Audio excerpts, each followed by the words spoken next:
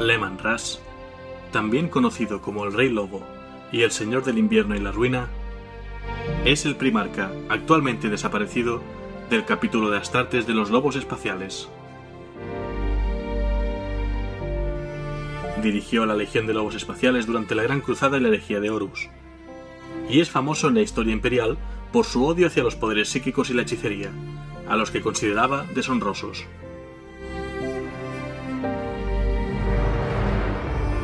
Algunos rumores afirman que él es el desconocido señor Lobo responsable del reciente regreso de la decimotercera Gran Compañía de los Lobos Espaciales al espacio real, durante la última Cruzada Negra, tras diez milenios de lucha contra el caos en la disformidad.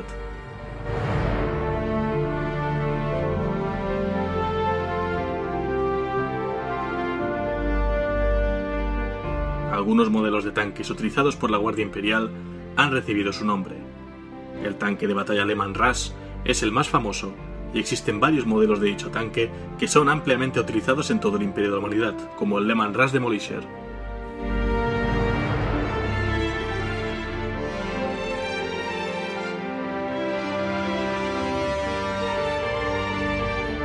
Los lobos espaciales fueron una de las 20 legiones creadas por el emperador para su gran cruzada. Los Filca Fenrica, como se llaman a sí mismos en dialecto propio del Jufk, que podría traducirse por lobos de Fenris, se mantuvieron ferozmente leales al imperio durante la herejía de Horus, castigando a los milijos por su abuso de los poderes psíquicos y enfrentándose a las legiones traidoras, especialmente a la Legión Alfa.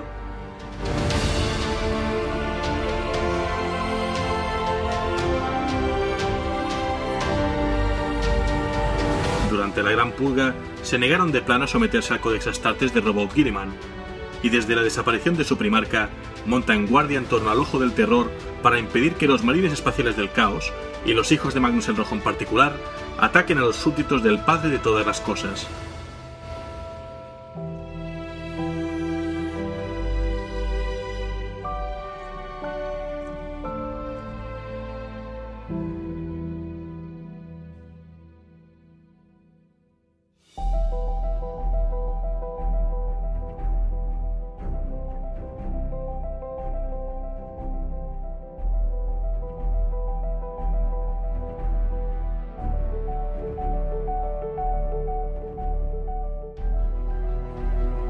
Un saludo y bienvenidos a la Biblioteca de Tisca, vuestro podcast de trasfondo de Warhammer 40.000 en castellano. Os está hablando Helios y en este programa 41 os voy a traer otra legión con otro primarca. Como ya sabéis, este es un podcast que podéis escuchar en Spreaker Radio, en iTunes y también en iVoox, vuestro kiosco de podcast online. Y también, como siempre, también me podéis contactar por las redes sociales.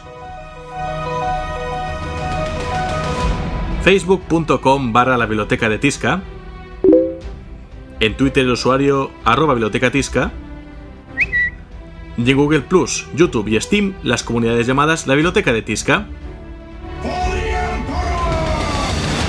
Hoy quiero celebrar apropiadamente el programa número 41, hay que celebrar los dos, estos Warhammer 40.000 hay que celebrar tanto el 40 como el milenio 41, y hablamos de una de las legiones más queridas por los fans de este universo, los lobos espaciales.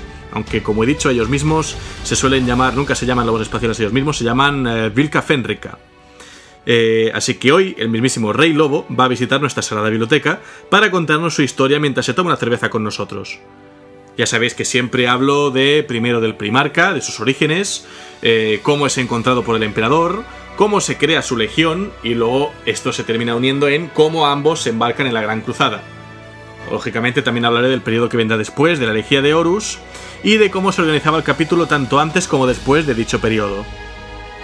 Como digo, es una de las regiones de las que hay más material, sin duda despierta muchas pasiones con esta especie de tendencia que tienen ¿no? a, a lo escandinavo, quizá a lo vikingo un poco, pero veréis que hay más tela de la que arde y que esta legión que parece a bote pronto tan salvaje y tan indomable, también tiene sus principios y su nobleza. Ya podéis abrigaros muy bien, que Fenris no es terreno para cualquiera, y nada, acompañadme por este viaje para conocer a la sexta legión de los adeptos astartes.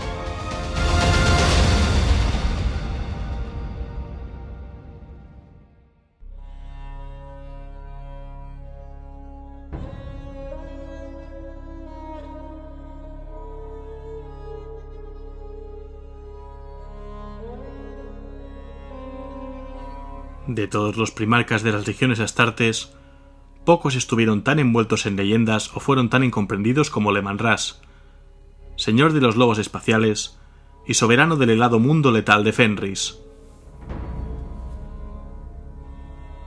Para algunos, no era más que un jefe salvaje y bestial dotado del poder de un dios, o uno de los monstruos del emperador, tan terrorífico e inhumano a su manera como el acechante nocturno, obsesionado con el horror, o Angron, el berserker cubierto de sangre.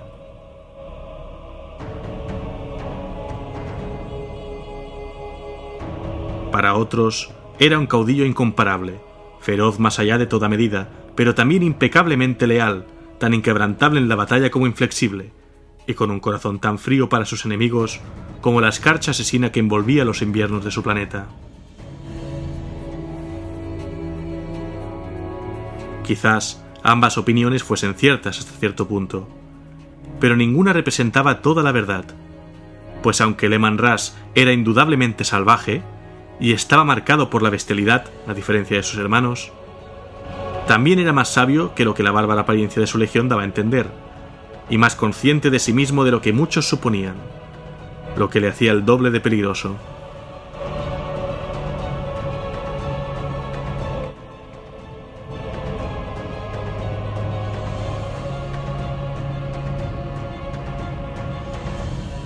En los albores del milenio 31, Después de que finalizaran las guerras de unificación y estableciera su dominio sobre una tierra unida, el emperador de la humanidad creó a los primarcas, hijos sobrehumanos cuyos genomas fueron cuidadosamente elaborados al mezclar y combinar rasgos de su propio código genético. Cada uno de ellos era un modelo único que superó a los humanos normales en todos los sentidos. Pero los poderes ruinosos de la galaxia consiguieron abrir una brecha en la disformidad, despistando y evitando la multitud de guardias psíquicos que el emperador había colocado en su laboratorio, y se apoderaron de las cápsulas donde se encontraban los primarcas, arrastrándolas al interior del vórtice de disformidad y dispersándolos hasta los extremos confines de la galaxia.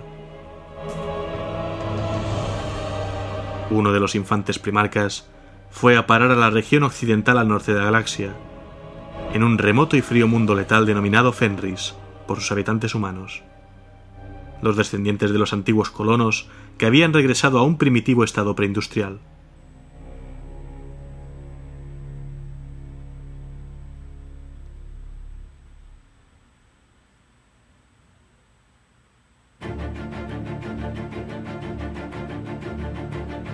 Teniendo en cuenta la dureza del clima de Fenris, podemos asegurar que un niño solo, perdido y desamparado, habría muerto congelado casi inmediatamente tras su llegada a la superficie del planeta, se sospecha que el primarca bebé fue adoptado y cuidado por una semiconsciente loba de Fenris. En más de una ocasión, en los años posteriores, el primarca mencionó su parentesco lupino. Así pues, Leman Ras se crió entre lobos, teniendo como hermanos a dos lobos fenrisianos, Freki y Geri, que posteriormente se convertirían en sus compañeros inseparables.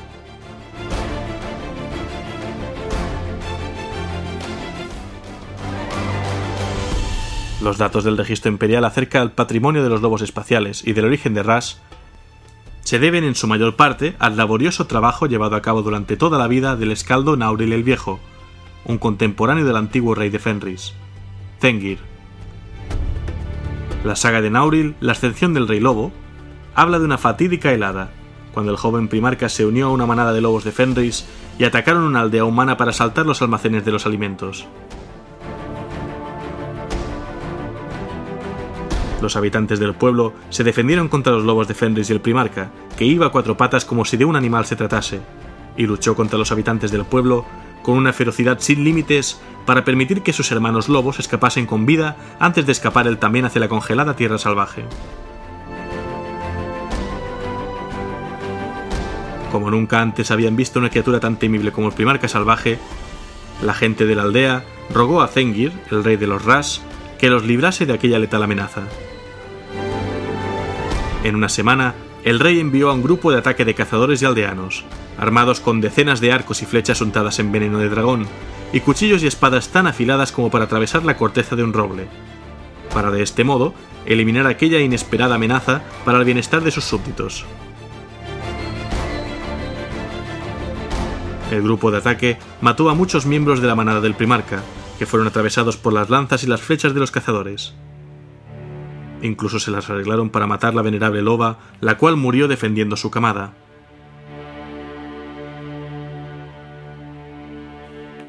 La loba se las arregló para poner fin a las vidas de cinco de los cazadores antes de que finalmente sucumbiera a sus flechas envenenadas.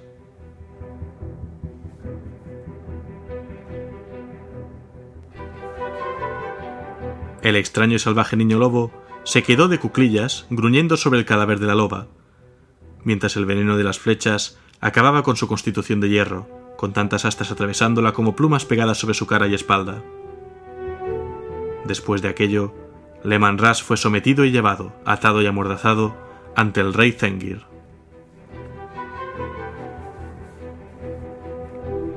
El niño lobo fue adoptado y cuidado por la Casa Real de Fenris, donde su formación y leccionamiento sobre los conocimientos de los hombres finalmente comenzó. Entre su propia especie por primera vez, Lehman desarrolló rápidamente sus habilidades, mostrando una aptitud natural para las artes de la guerra.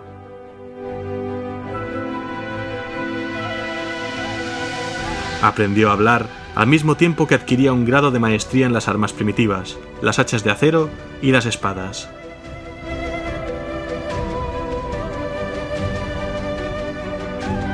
Aunque todavía gruñía como un animal al reír, o entonaba un desafinado aullido hacia el cielo en ocasiones, el primarca poco a poco se dio cuenta de que era más humano que lobo, pero también se dio cuenta a la vez que era un ser muy superior a ambos.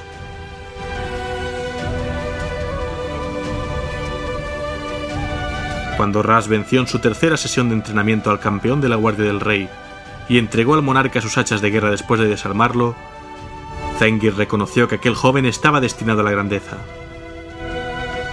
El primarca pronto habló el dialecto de Fenris, de estilo gótico bajo, con una elocuencia poderosa, y una noche, Zengir lo consideró digno de recibir un nombre de verdad. El rey le puso el nombre al ex niño lobo, Leman Ras. Mucho de lo que se sabe de los primeros años de Leman Ras en Fenris se debe a los rumores y las leyendas, ya que su fama se extendió rápidamente entre las tribus de Fenris.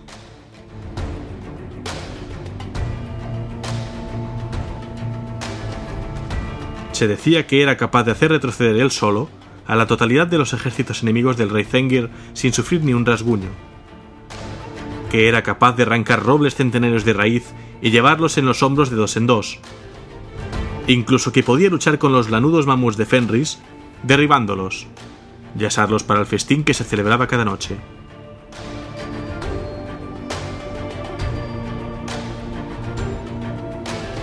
Cuando el rey Zengir murió, no había duda de quién habría de sucederle como monarca de los Ras.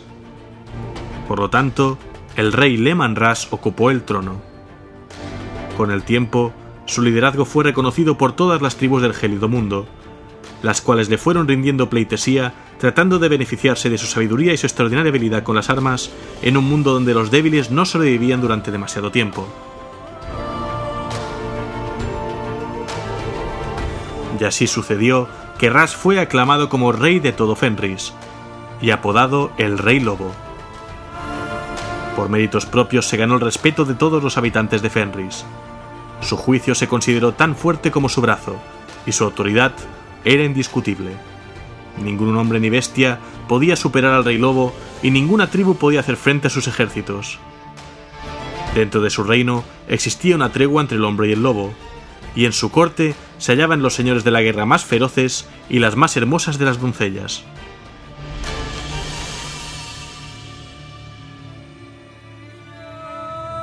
Los relatos de sus poderosas conquistas se extendieron como un incendio en las praderas y no pasó mucho tiempo antes de que los ojos de Terra se volvieran hacia sus obras.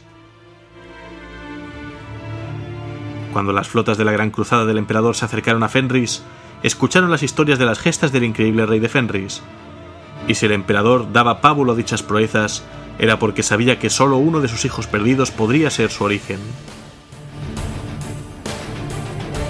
El emperador finalmente se decidió a reunirse en persona con el rey lobo de Fenris, reconociendo que la poderosa figura sentada en el trono era uno de sus hijos perdidos.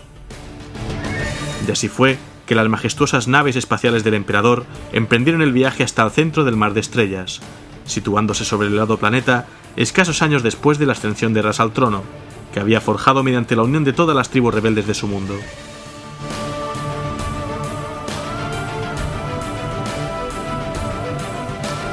El emperador, disfrazado con una túnica larga, lisa y envuelto en un disfraz de runas psíquicas de confusión, entró en la larga estancia de Ras. Los lobos de Fenris y los pocos nativos que allí se encontraban y que tenían ojos de lince y suficiente sobriedad, captaron esta nueva y poderosa presencia. Freki reaccionó enseñando sus dientes. Gary, viejo más allá de lo imaginable, demostró ser más sabio que su hermano, pues el extraño respondía a la mirada de su amo sin pestañear. Ras se negó a rendirle homenaje como el señor de la humanidad. El emperador sabía que el orgulloso Ras nunca se inclinaría a su gobierno sin ser probado en un duelo, pero consciente de su propio poder, sabía que aquella refriega no sería nada para él. ¿Quién podría vencer en lucha contra un dios viviente? ¿quién podría mantenerse firme en la presencia del Señor de la Humanidad? El extraño viajero se acercó al esplendoroso trono del lobo y a su majestuoso ocupante, manteniéndose firme y mirando fijamente hacia Ras, el cual presidía el banquete. Fue entonces que el desconocido ofreció su desafío. La naturaleza del concurso la decidiría el rey lobo. Si ganaba, el desconocido no pidió nada como premio, tan solo que se le permitiera beber a la diestra del rey durante el banquete. En cambio, Ras exigió al forastero que si perdía, serviría a instancias del rey por un año. Descorazonado, el desconocido aceptó.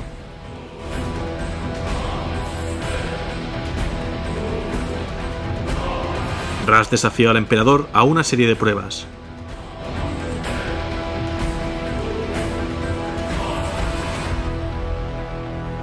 El rey lobo no quería estropear una buena fiesta, y su primer reto fue un concurso de comer.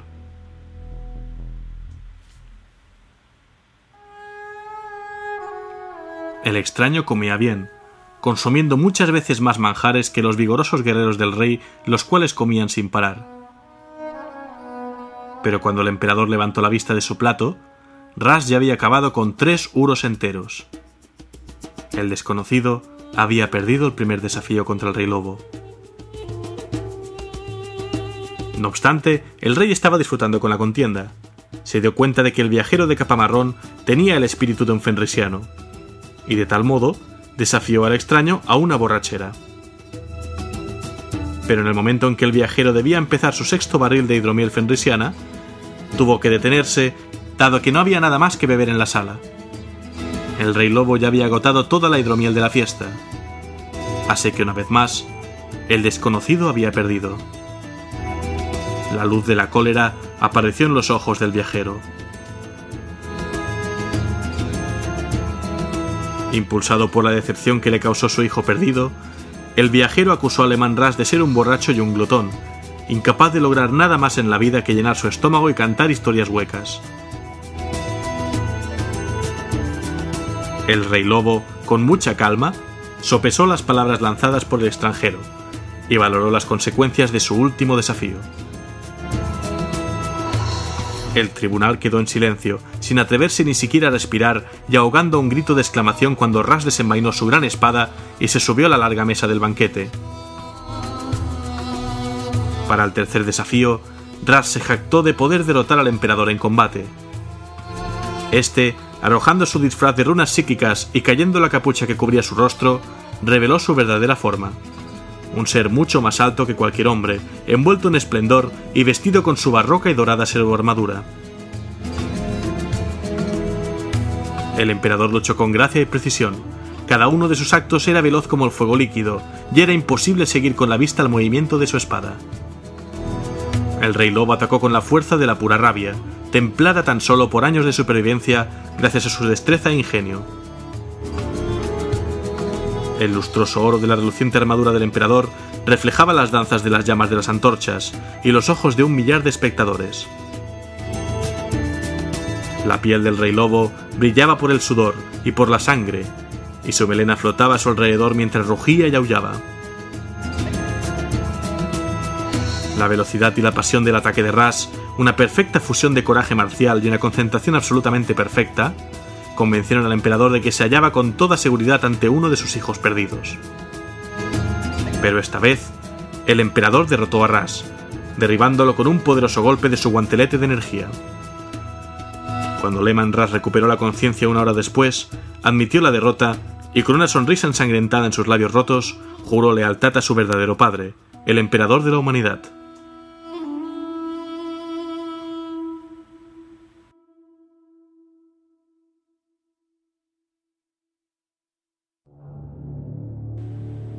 Habiendo hablado ya de los orígenes del primarca, toca hablar de la legión, esta sexta legión llamada los Filca Fenrica, y apodada por todos como los lobos espaciales.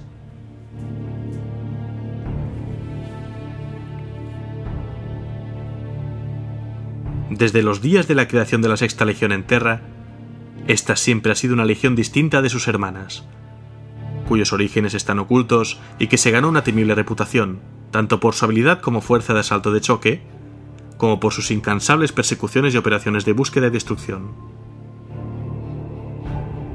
La violencia inesperada ha sido la firma de la Legión desde su primera participación en la Gran Cruzada, y sus campañas siempre han carecido de sutileza, pero han sido brutalmente rápidas.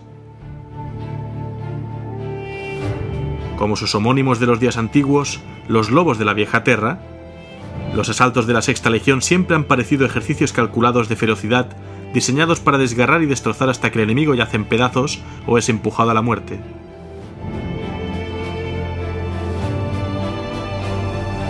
Pero fue con la reunión de la Legión con su primarca Aleman Ras y con su establecimiento en el helado mundo letal de Fenris, uno de los hogares más peligrosos y extraños de la humanidad, cuando la naturaleza de la Sexta Legión alcanzaría su apoteosis y nacerían realmente los lobos espaciales. Bajo su señor y padre Leman Ras, la Legión de los Lobos Espaciales abriría un sangriento camino a través de las estrellas en la Gran Cruzada, pero jamás se apartó realmente de la sombra del emperador. A diferencia de sus legiones hermanas, los lobos espaciales fueron mantenidos bajo el firme control de la corte imperial y desatados por orden del emperador, tanto para castigar salvajemente a los que renegaban de sus votos de servicio, como para destruir a aquellos que se resistían a las ofertas de anexión en la oscura frontera. Este papel habitual como herramienta sangrienta de castigo, combinado con los propósitos secretos para los que la Legión había sido empleada, y con la creciente idiosincrasia cultural de los lobos espaciales, supuso una separación cada vez mayor entre la sexta y las otras legiones de marines espaciales a medida que pasaban las décadas de guerra. Por este motivo, en los últimos años de la Gran Cruzada, cuando Horus fue convertido en Señor de la Guerra, los lobos espaciales eran en muchos sentidos una legión aislada y apartada. Con algunos de sus parientes mantenían lazos de camaradería y respeto, por distantes que fueran. Pero con otros hervía una actitud y desconfianza mutuas. Y otros más no les consideraban más que monstruos con correa, desatados solo para matar cuando era necesario, algo menos que humanos y quizá incluso menos que astartes.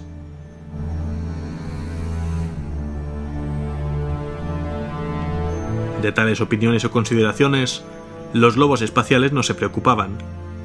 Sabían perfectamente que ellos no eran los constructores de imperios, ni los vigilantes de sus murallas, ni rígidos soldados preocupados por la brillante pompa o las competiciones sin sentido por el rango y la perfección. Sabían que ellos eran depredadores, así les habían creado, y pobre de aquel que cayera entre sus fauces. condicionada para sentir una despreocupación casi suicida por el peligro, y entrenada para aprovecharla al máximo en el campo de batalla, la infantería pesada que formaba el núcleo de los batallones de la Legión era una fuerza puesta a punto a base de combatir contra los incontables enemigos de la humanidad, y según se susurra, también contra sus propios hermanos más díscolos.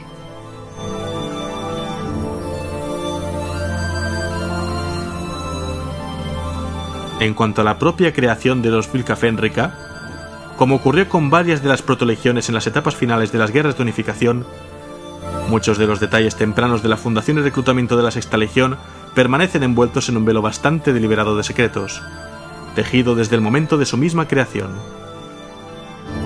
Más allá del habitual secretismo y seguridad con que el emperador decidió rodear el proyecto de los marines espaciales para proteger a las nacientes legiones astartes, la sexta división, junto con la decimoctava, después conocida como los salamandras, y la vigésima, después llamada Legión Alfa, fue formada y establecida prácticamente separada del resto, y en general se cree que fue formada con fines muy específicos.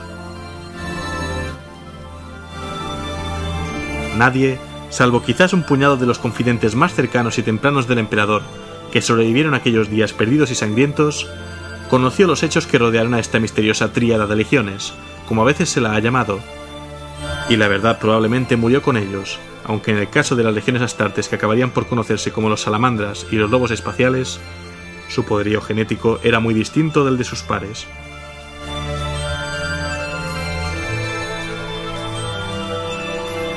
Puede verse que este elemento de misterio en torno a la tríada de protolegiones estableció una distancia entre ellas y sus hermanas, en especial en cuanto a la primera leva de iniciados, que estuvo rodeada de oscuros rumores.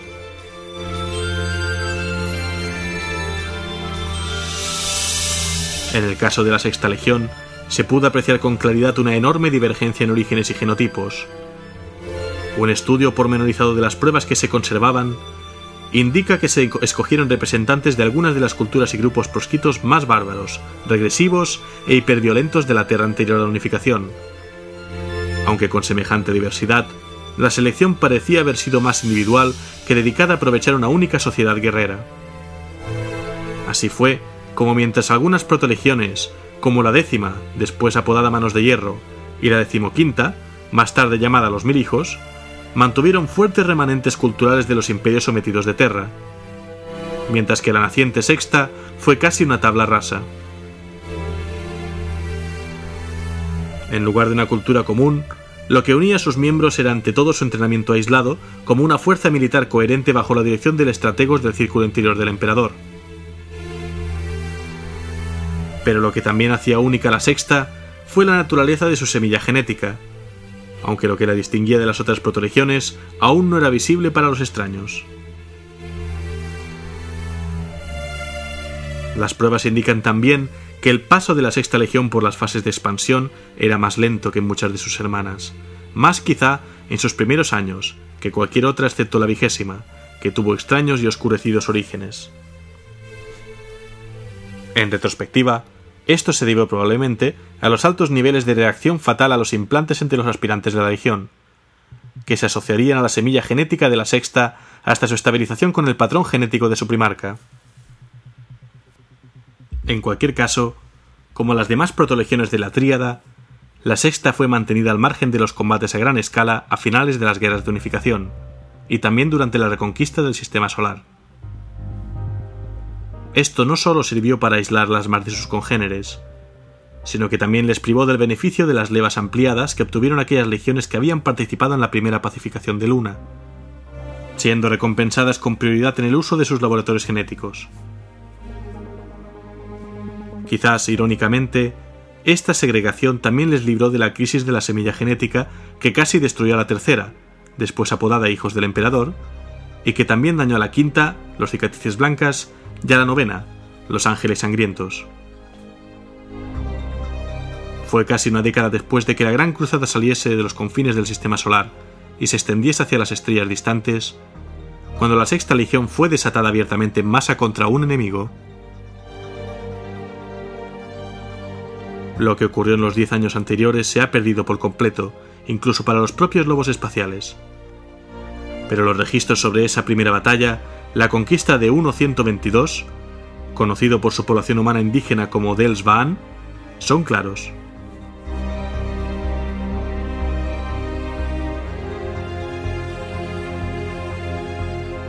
Enviada desde la sombra de la Principia Imperialis, la gran flota expedicionaria dirigida por el propio emperador, todas las fuerzas de la Sexta Legión del momento, unos 3.500 legionarios, desembarcó sobre un mundo que ya había respondido a los acercamientos del imperio con violencia.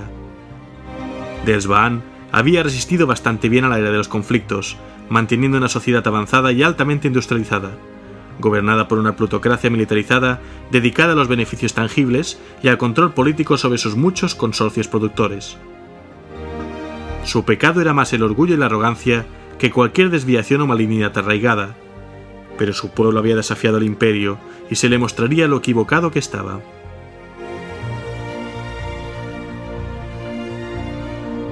Puesto al cargo de planificar y ejecutar la operación por sí solo, sin duda para poner a prueba la legión, pues esto era con seguridad una prueba, el comandante Enoch Rathvin, primer señor de la Sexta Legión, lanzó una operación de asalto planetario multivectorial directamente contra Núcleo Massanor, la ciudad dormitorio fortificada del más poderoso de los consorcios de Delsbaan. Bajo la cobertura de un bombardeo casi indiscriminado sobre las áreas exteriores y los nexos de infraestructura de la ciudad, docenas de zonas de desembarco fueron despejadas en la subsiguiente confusión por cañoneras y cápsulas de desembarco, y Radvin desembarcó a casi todas sus fuerzas en una sola hora, sin dejar ninguna en reserva. Los comentarios tácticos hechos por los observadores imperiales afirman claramente que lo que un primer momento se parecía a la punta de lanza de asalto de choque ya ampliamente practicada por las legiones, siguiendo el ejemplo de la decimosexta de Horus, entonces el único primarca conocido, rápidamente se vio que había evolucionado, o para algunos detractores, degenerado en algo distinto. En lugar de avanzar directamente hacia las áreas de mando y control del enemigo, como era el patrón estándar, la sexta legión se extendió por la ciudad más como un incendio que como un ejército asaltante. Sus unidades de infantería de reconocimiento pronto dejaron atrás a su apoyo blindado, fluyendo como una marea destructora por la ciudad, sin detenerse a apoderarse de recursos estratégicos, ni defender el terreno ganado, sino destrozando todo lo que encontraban a su paso.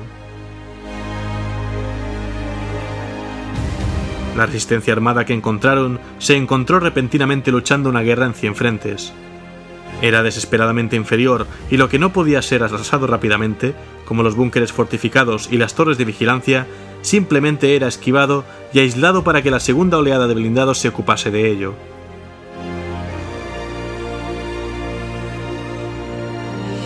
El ejército nativo, reclutas ligeramente armados con armas láser, reforzados por destacamentos de soldados mejor entrenados y dotados de armadura de caparazón por el consorcio, no tuvo ninguna oportunidad ante este ataque, ya que no estaba preparado en absoluto para la rapidez o la fuerza de los invasores, ni para la tremenda violencia con la que se lanzaron a por ellos. La mayoría de los defensores murieron donde estaban, intentando organizar líneas de tiro para detener su avance, o masacrados a centenares cuando los intentos de contraataque se convertían en retiradas desordenadas, y pronto los aterrorizados milicianos se atascaron entre los miles de civiles en fuga. Ante esta estampida de humanidad aterrada, la sexta legión pareció redoblar su ataque, como si le animase el aroma sangre y terror. Cayeron sobre la gente del núcleo Massanor y hubo una gran matanza. Hay debates en los registros históricos sobre si en este punto el mando de la legión perdió realmente el control sobre sus unidades en medio de la violencia, probablemente que fuera, pero en cualquier caso, Enoch Radvin no refrenó rápidamente sus fuerzas, y cuando finalmente aceptó la rendición del núcleo Massanor, sus calles habían sido pintadas de carmesí con la sangre de sus habitantes. No obstante, el destino de la ciudad sirvió de ejemplo para los líderes de los otros consorcios, y pronto vieron la locura de seguir resistiéndose, con lo que Delsbaan fue anexionado.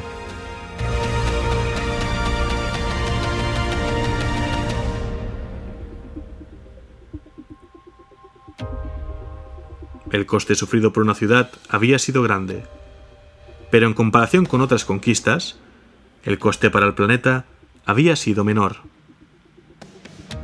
La actuación de la Sexta Legión, aunque inquietante para algunos miembros de la jerarquía del imperio, más por su aparentemente mala disciplina que por sus resultados, fue claramente suficiente para satisfacer al emperador, quien les concedió su propia subflota, la Expedición 115, que seguía afiliada al núcleo de la Gran Armada de la Principia Imperialis, pero por lo demás era internamente independiente, con sus propios transportes, naves escolta y navíos de guerra.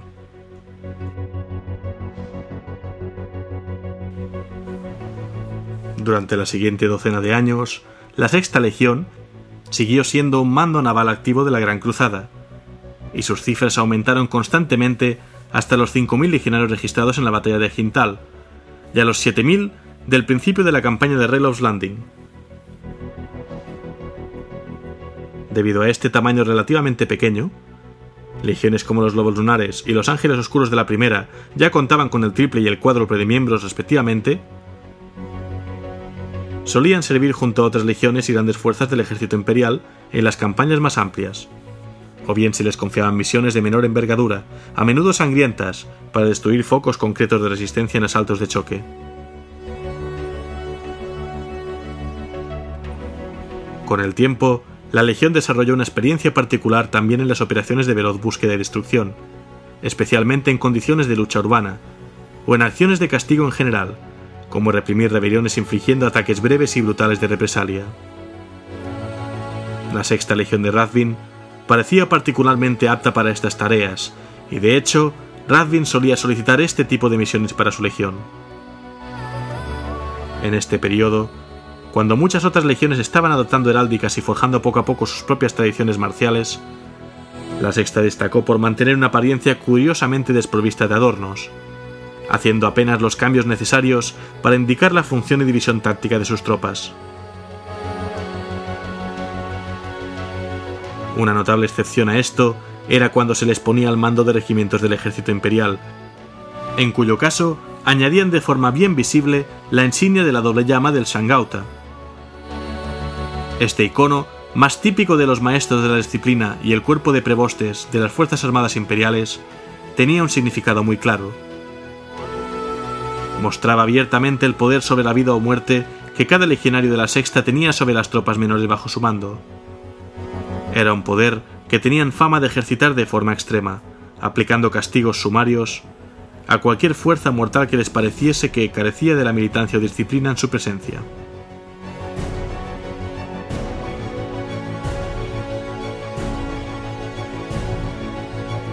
Volviendo al ADN, la semilla genética de los lobos espaciales, la Canis helix, es tan útil como letal. La espantosa potencia de la primera semilla genética implantada a un aspirante a hijo de Ras es legendaria. Ha terminado con la vida de cientos de guerreros de Fenris y transforma a aquellos a los que no mata en monstruos terroríficos. No obstante, la Canis Helix es necesaria, ya que sin esta parte esencial de la herencia de Leman Ras no habría forma de implantar el resto de hélices genéticas. Por desgracia, el código genético de la Canis helix contiene una serie de aminoácidos no sintetizables por el cuerpo humano que tienen un efecto dramático en la fisonomía del potencial marino espacial.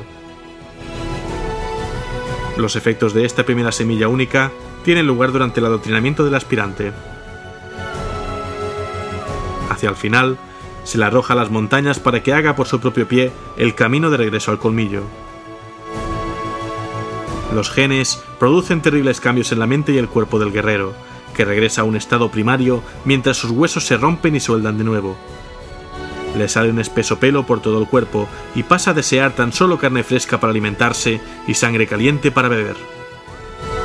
Su masa corporal aumenta hasta un 80%. Muchos de sus huesos se sueldan entre sí y le crecen vestigios de colmillos animales en las encías a medida que se completa la transformación. Aunque su cuerpo está torturado por el dolor, el guerrero debe dominar a sus genes o estos le dominarán a él. Por todos es sabido que las noches en Fenris están plagadas de criaturas salvajes gigantes, conocidas como Wulfen, seres que no lograron superar la maldición. Convertirse en un Wulfen no solo significa fallar, sino también convertirse en un verdadero monstruo. Si el aspirante consigue encontrar el camino de vuelta al colmillo, a través de los barrancos y glaciares plagados de hambrientos depredadores y azotados por gélidas ventiscas, se le implantará el resto de la semilla genética de los lobos espaciales, que estabilizará la Canis helix y completará su adoctrinamiento genético en las filas de los hijos de Ras. De todos modos, una pequeña parte de los guerreros no logra sobreponerse completamente a los efectos de la primera semilla genética, y en situaciones de gran tensión, vuelve al estadio primitivo y sediento de sangre que acechan su estructura genética como una sombra fantasmal. Esta es la maldición de los Wulfen, un temor real en Fenris.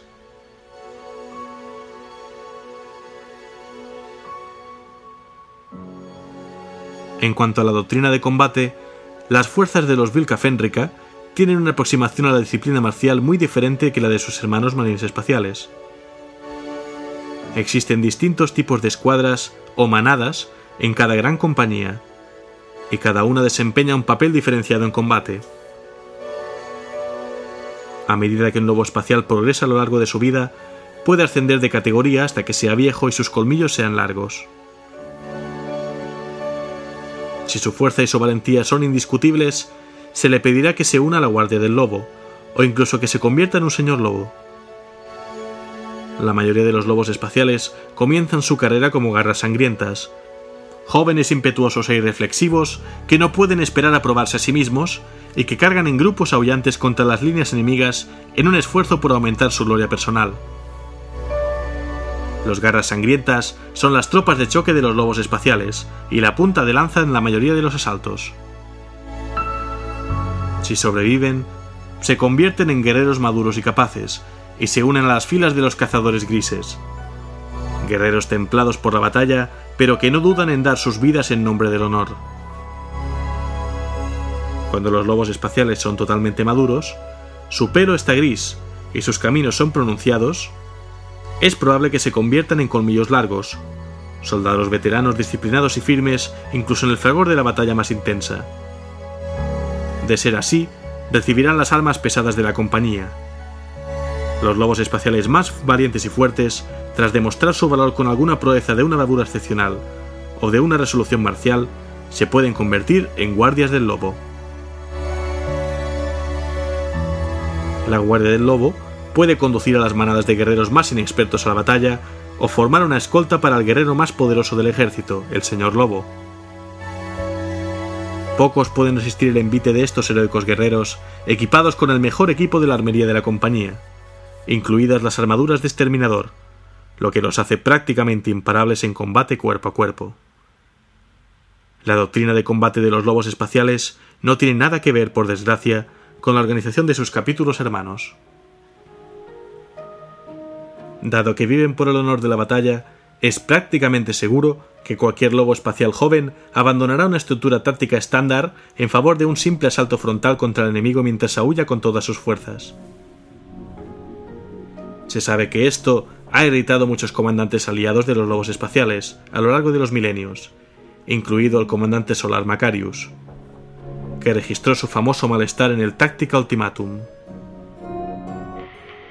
Los garras sangrientas de los lobos espaciales no solo se ponen en peligro ellos mismos, sino que ponen en peligro las vidas de sus compañeros de armas. Si tantas ganas tienen de morir y no piensan hacer caso de las órdenes de sus superiores, lo mejor que podemos hacer es enviarlos derechos a la boca del lobo. Tan solo podemos desear que algunos de ellos queden atrapados entre sus fauces.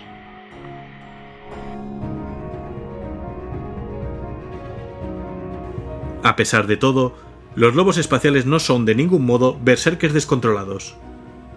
Sencillamente, como capítulo, confían en la eficacia del combate cuerpo a cuerpo por encima de cualquier otra táctica. Y lo cierto es que sus métodos son innegablemente eficaces. Los lobos espaciales han luchado de una manera similar en 100.000 campos de batalla desde que fueron creados, y es poco probable que cambien ahora su forma de actuar solo para moldarse a los preceptos del Administratum. En cuanto a su organización, durante la Gran Cruzada, cuando Lehman Russ tomó el mando de la Sexta Legión, ésta se adhería rígidamente a las guías y disposiciones recogidas en el principio belicosa del alto mando del Imperio. Los guerreros de la Legión se aferraban a esta regla como un ancla frente al desorden que su propio carácter, cada vez más divisivo y díscolo, estaba sembrando entre sus filas. La disciplina impuesta por la fuerza era habitual, y no eran raras las ejecuciones sumarias en el campo de batalla. Con el redescubrimiento de Lehman Russ, estos factores rápidamente quedaron aparcados. La furia que yacía en el corazón de la Legión fue moldeada y disciplinada mediante la voluntad, y ese manantial de salvajismo fue canalizado y dirigido al combate en lugar de dejado sin objetivo, proporcionando una catarsis que purgó a la Legión de sus tendencias autodestructivas y la unificó bajo el estandarte del Rey Lobo. Tanto el estilo de combate de Fenris, adaptado por Lehman Russ, como la tendencia natural de la Legión por el deseo de enfrentarse mano a mano con sus enemigos, llevaron pronto a un nuevo enfoque, alejado de la combinación generalista de armas propuesta por el principio belicosa, y centraron las tácticas basadas en unidades de infantería de choque altamente móviles, y aunque se conservaron los elementos de apoyo más pesados, estos se concentraron en destacamentos especializados en lugar de ser desplegados en la línea general de batalla.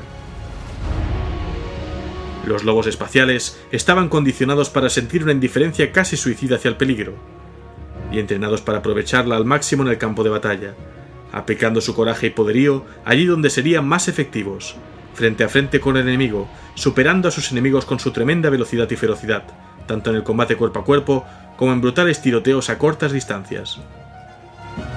Con el tiempo, sus disposiciones tácticas cambiaron para adecuarse mejor a esta preferencia, llevando a la creación de unidades de choque únicas como los matadores grises y los garras sangrientas, que acabarían por formar el grueso de la infantería de la Legión hacia la fecha de la quema de Próspero. A finales de la Gran Cruzada, la Legión de los Lobos Espaciales se había desviado con fuerza de la definición de la estructura y organización descritas en el Principia Belicosa, aunque, si se les obligaba, podían explicar cómo encajaría cada guerrero en ella si fuera necesario. Al nivel más general, la legión consistía en 13 grandes compañías, designadas por su número en el orden de batalla, cada una de las cuales se componía nominalmente de 10.000 astartes, aunque en la práctica las tasas de desgaste y bajas hacían que esta cifra fuese solo teórica. Por debajo de este nivel estratégico, las huestes de la Legión se dividían a su vez en un cambiante abanico de formaciones improvisadas, bien conformadas para una misión concreta, bien fuertemente asociadas a la autoridad personal de un comandante en particular. Y por debajo de ellas había una serie de subcomandantes tributarios conocidos como señores lobo, cuya traducción al lenguaje de los Vilcafenrica es Hal, o líderes de manada, cuya traducción sería Zeng, esto sin importar su rango teórico o reconocido en el orden de batalla estándar del imperio.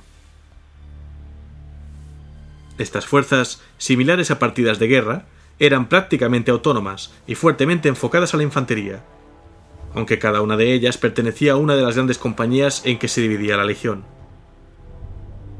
Solían carecer de ciertas unidades y formaciones especializadas típicas en otras legiones, y podían variar en tamaño desde el equivalente a un batallón al de un capítulo.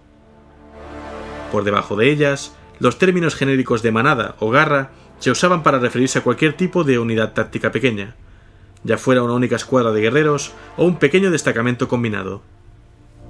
Estas disposiciones podían ser confusas para los foráneos, ya que, por ejemplo, una gran compañía podía tener varios Harls cuya relativa superioridad o área de mando no eran para nada claras para cualquiera que no fuese un lobo espacial.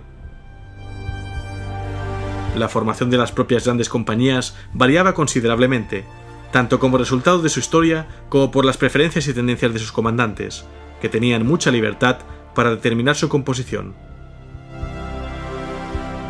La primera gran compañía, Uon en fenrisiano, destacaba por servir como el núcleo de veteranos de Leman Rush, incluyendo a su élite selecta, los Baragir. La séptima gran compañía, por contraste, era distinguida por ser los Landaivan, los destructores y arrasadores. Y en esta compañía se concentraban muchos de los recursos de asedio y artillería de la Legión, así como aquellos habilidosos en el uso de armas tan peligrosas como el Fosfex. También era el hogar de la mayor concentración del subculto particular de la mitología fenrisiana, centrado en torno al espíritu lupino Morkai, una pseudo deidad de la muerte y los difuntos. Se decía que los lobos espaciales que se veían atraídos por este culto eran aquellos que más sentían el aliento del lobo en sus huesos. Y en ellos, las fieras pasiones de sus hermanos se habían enfriado hasta convertirse en una sombría escarcha mortal, de tal modo que sólo la perspectiva de derramar sangre de inmediato podía hacerles sentir de nuevo. Muchos de estos guerreros eran reunidos para formar las manadas del Diezmo Negro, un cuerpo de exterminación que también se especializaba en ataques rompelíneas casi suicidas y prácticamente imparables, en los que abrazaban el toque de la muerte como a un amigo perdido. También hay que destacar el papel jugado en la Legión por los llamados sacerdotes de Fenris. Esta cámara sellada de la Legión encarnaba muchas de las funciones especiales de mando cubiertas por el Apothecarion, el Librarius y el Arsenal en otras legiones. Sus miembros estaban imbuidos en una aura de ritual y hermetismo inusual en una legión anterior a la herejía, pues además de conservar la tradición marcial de la Legión, mantener su armamento y preservar su semilla genética, estos sacerdotes también se encargaban de salvaguardar la historia oculta y las supersticiones de la Legión, y servían como guardianes de sus secretos. Los representantes superiores de esta variada clerecía, ya fueran sacerdotes de hierro, lanzadores de runas o portavoces de los muertos, tenían un lugar de honor en el Eichenhardt, el consejo de guerra de la Legión que aconsejaba a su primarca, y en el que cada Harl y Zeng tenía un puesto, y cualquier guerrero de los lobos espaciales también tenía derecho a hablar. En el momento en que la Legión de los Lobos Espaciales recibió la orden de censurar a los milijos, era capaz de reunir lo que se cree que eran aproximadamente dos tercios de su fuerza activa. Esto se componía de unos 75.000 astartes enviados al asalto a Próspero, con los otros 20.000 o 25.000 dispersos en varias subflotas y destacamentos demasiado alejados para responder de inmediato a la llamada de su señor. O quizás acantonados como guarnición en Fenris en ausencia de la legión. Este dato es para reflejar el alto número de campañas que los lobos espaciales habían llevado a cabo en las décadas previas, en las que habían descendido de la marca de los 130.000 guerreros en una serie de combates cuya naturaleza en algunos casos permanece sellada. Se cree que su flota incluía unas 60 naves capitales en ese momento, y quizás cuatro veces más naves de ataque y naves de escolta menores. La Legión prefería los diseños de fragatas pesadamente armadas y potenciadas, que permitían desplegar pequeños destacamentos en operaciones independientes de largo alcance. Por el contrario, su nave insignia, la Raffenkel, era una de las variantes más grandes del acorazado clase gloriana, y estaba configurado como un acorazado pesado y para realizar operaciones de destrucción planetaria de forma independiente. Y ya habiendo hablado de la creación, evolución de de esta legión, voy a volver al punto en que empieza la Gran Cruzada y en la que el emperador descubre a Leman Ras. Vamos a ver cómo se reúnen esta legión y su padre genético. El emperador se llevó al gran rey lobo lejos de Fenris y comenzó a instruirle en la tecnología y los viajes que permitían atravesar las estrellas del imperio. El aprendizaje del primarca y su formación respecto a todos aquellos temas fue tan rápida que en cuestión de semanas el emperador juzgó a Ras digno de dirigir a sus ejércitos en la gran cruzada por toda la galaxia.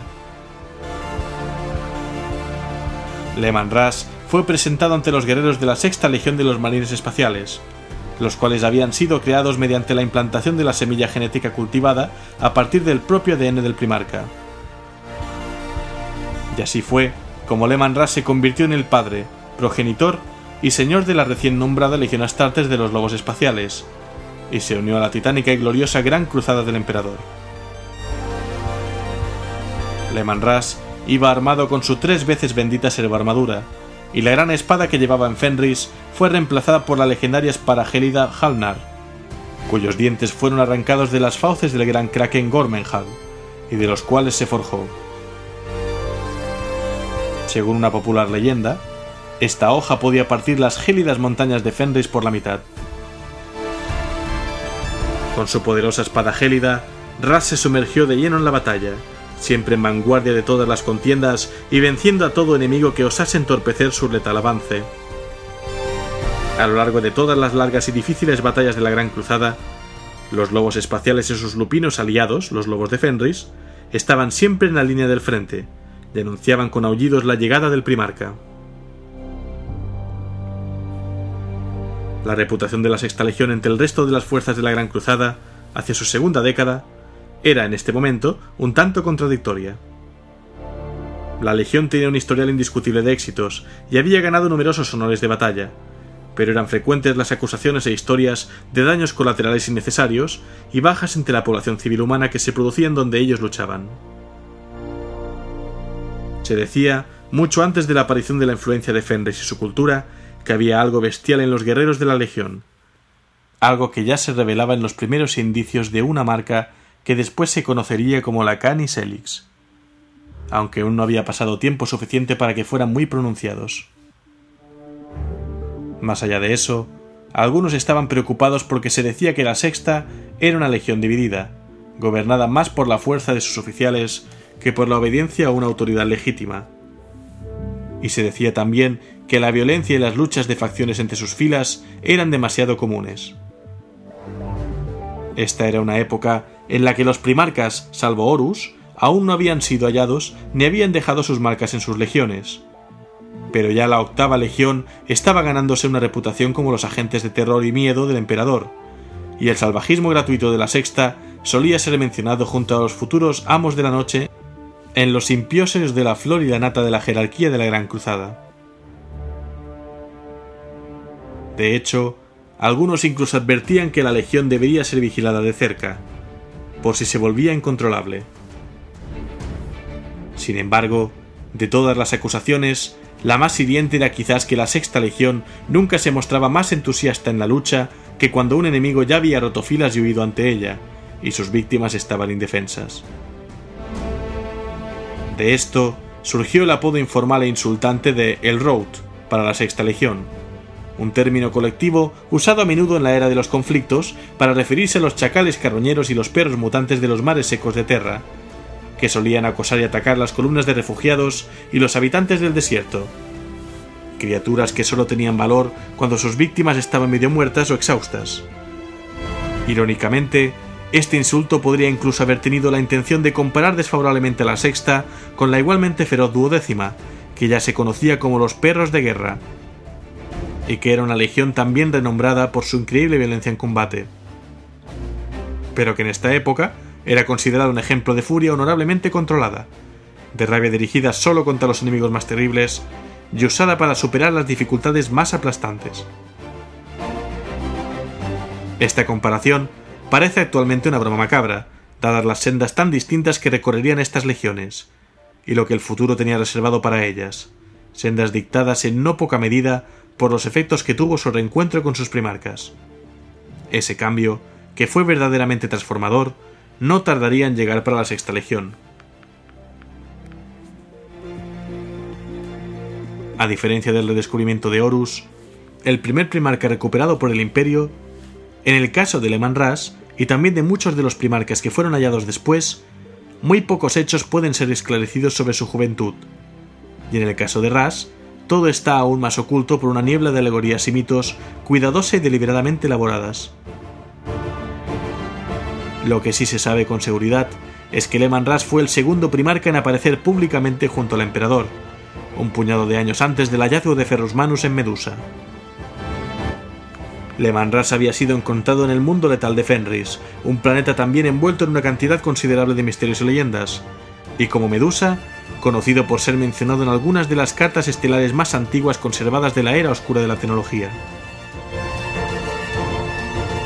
La comparativa rapidez de este descubrimiento hizo que algunos amantes de las teorías conspirativas se planteasen si el emperador podría haber conocido de antemano que este lugar, por de tal alejado que estuviera, era el hogar adoptivo de uno de sus hijos perdidos, y hoy día no se puede decir con seguridad cuánto tiempo estuvieron Fenris y el primarca bajo observación antes de ser contactados. De las pocas sagas alegóricas fenrisianas divulgadas sobre la etapa temprana de Ras y su ascenso al poder como el principal rey caudillo de aquel conflictivo mundo, los únicos detalles que pueden extraerse con un cierto grado de credibilidad son que el niño primarca sobrevivió en solitario en el territorio salvaje a los muchos terrores de aquel mundo letal, y que tras encontrar y reunirse con la población humana de Fenris, se integró en su sociedad guerrera e hizo suya su cultura. Al hacerlo, aun careciendo de cualquier tipo de tecnología avanzada, dominó y gobernó un paisaje profundamente letal para la vida humana. Al ser llevado junto al emperador, parece que no tuvo ninguna o casi ninguna dificultad para comprender lo que realmente era, ni tampoco para absorber las costumbres y procesos de la avanzada tecnología y sociedad del enorme imperio. La educación de Ras pareció haber sido breve pero concienzuda, y su puesta a prueba también muy breve. Rápidamente fue enviado a dirigir su legión y no marchó solo. Con Leman Ras fueron varios centenares de guerreros fenrisianos que, a pesar de su edad, habían sobrevivido al proceso de implantación y transformación genética necesarios para convertirse en astartes, al menos en su mayor parte. Muchos habían muerto en el intento, pero muchos menos de los previsibles, y esto se debió a dos motivos. El primero el efecto estabilizador que el patrón genético de Le Ras tuvo sobre la semilla genética ya existente de la Sexta Legión, que pareció revertir prácticamente todas las dificultades previas para la supervivencia de los aspirantes. Y en segundo lugar, que los propios fenrisianos demostraron estar hechos de una pasta extraordinariamente resistente, un factor atribuido a la prolongada supervivencia de los humanos en Fenris en general y a los muchos misterios de ese planeta. El caso es que estos hombres serían los primeros Baragir de Lemanras, un término a veces transcrito como Barangui en los registros imperiales, o traducido literalmente como guardia del lobo. Eran los guerreros juramentados de Ras, comprometidos en su lealtad hacia él hasta para rechazar a la muerte con tal de permanecer a su lado, y cuya fidelidad les había llevado a abandonar su mundo de hielo y sangre y ascender, sin comprensión pero sin miedo, hasta las estrellas tras los pasos de su señor. Estos Barakir eran más apreciados por su rey por su lealtad que los sobrehumanos astartes de la sexta legión que había recibido para comandar, a pesar de su famosa fuerza y su salvaje reputación, pues aún no habían demostrado su valía como guerreros ni se habían ganado su respeto. Esta lección fue la primera que Leman Ras le enseñó a la sexta legión, y un presagio de que bajo el gobierno del rey lobo su legión sería muy distinta de todas las demás.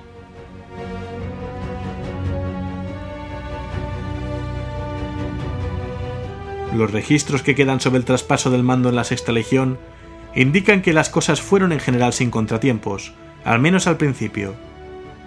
Que su primarca hubiera sido el segundo en reaparecer fue motivo de regocijo y de cierto orgullo entre las filas de la Legión, y que su nuevo señor tuviese un aspecto bárbaro causó quizás menos consternación entre los legionarios, dado el origen de muchos de ellos, que la que habría causado en otra legión. Leman Ras también era carismático y rápidamente inspiró respeto entre aquellos a quienes se le había enviado a comandar. Y para una legión que ya respetaba la fuerza por encima de cualquier otra cosa, era un guerrero cuya fortaleza excedía la de cualquiera de ellos hasta un grado prácticamente absurdo. Enoch Rathvin renunció al mando, quizás a regañadientes, pero sin plantear un desafío abierto.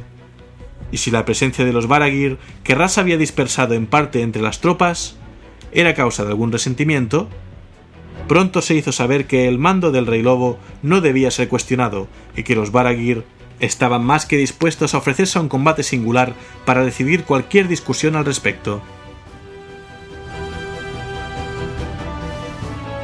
Antes de que alguna actitud pudiera enconarse, Lemanras decidió en su sabiduría que llevaría su legión a la batalla, para que él, sus parientes y sus hijos genéticos derramasen sangre y afrontasen la muerte juntos, y de este modo fueran forjados de nuevo como una sola entidad. El objetivo de esta primera campaña junto a su legión había sido escogido con cuidado en un concilio con el emperador Iorus, y sería una verdadera prueba de la valía de la sexta legión.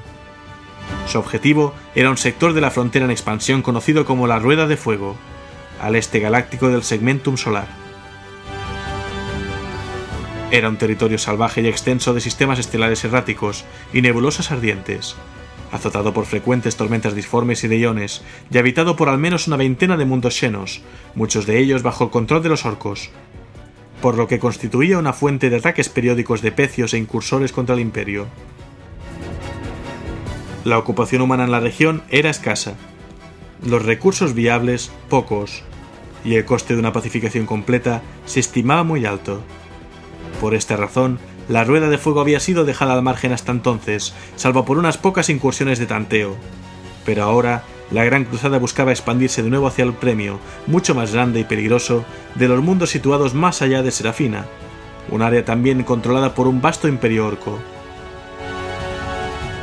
La amenaza de un ataque de los orcos de la Rueda de Fuego a la retaguardia de la Gran Cruzada, en apoyo de sus congéneres, era muy real, y para eliminarla la sexta legión tomaría la rueda de fuego y la purgaría, sin importar el coste que tuvieran que pagar. Bajo la guía del renombrado navegante Durlan Ocelati, la flota de la sexta legión, reforzada con nuevos cruceros de asalto enviados desde Marte, pero despojada de sus regimientos auxiliares del ejército imperial por orden directa de Leman Ras, trazó sus planes de ataque contra la rueda de fuego. Ras decretó que lanzarían una rápida serie de asaltos sobre mundos clave, concentrándose en despedazar los dominios de los orcos y en aislarlos entre sí. No veía el mérito en una invasión ensayada ni en una demoledora campaña de conquista y desgaste que diese una oportunidad a los divididos y enfrentados orcos de unirse contra una amenaza exterior y de reunir sus fuerzas, como ya habían hecho muchas veces antes.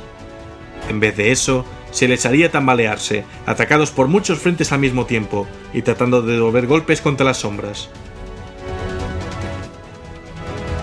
Las lecciones amargas como el hierro de las eternas guerras lupinas de Fenris, definidas por las incursiones marítimas y las matanzas repentinas, servirían bien a la sexta legión en una campaña así, y contrarrestarían la ventaja de un enemigo cuyos guerreros superaban a los astartes en decenas de miles o quizá centenares de miles a uno.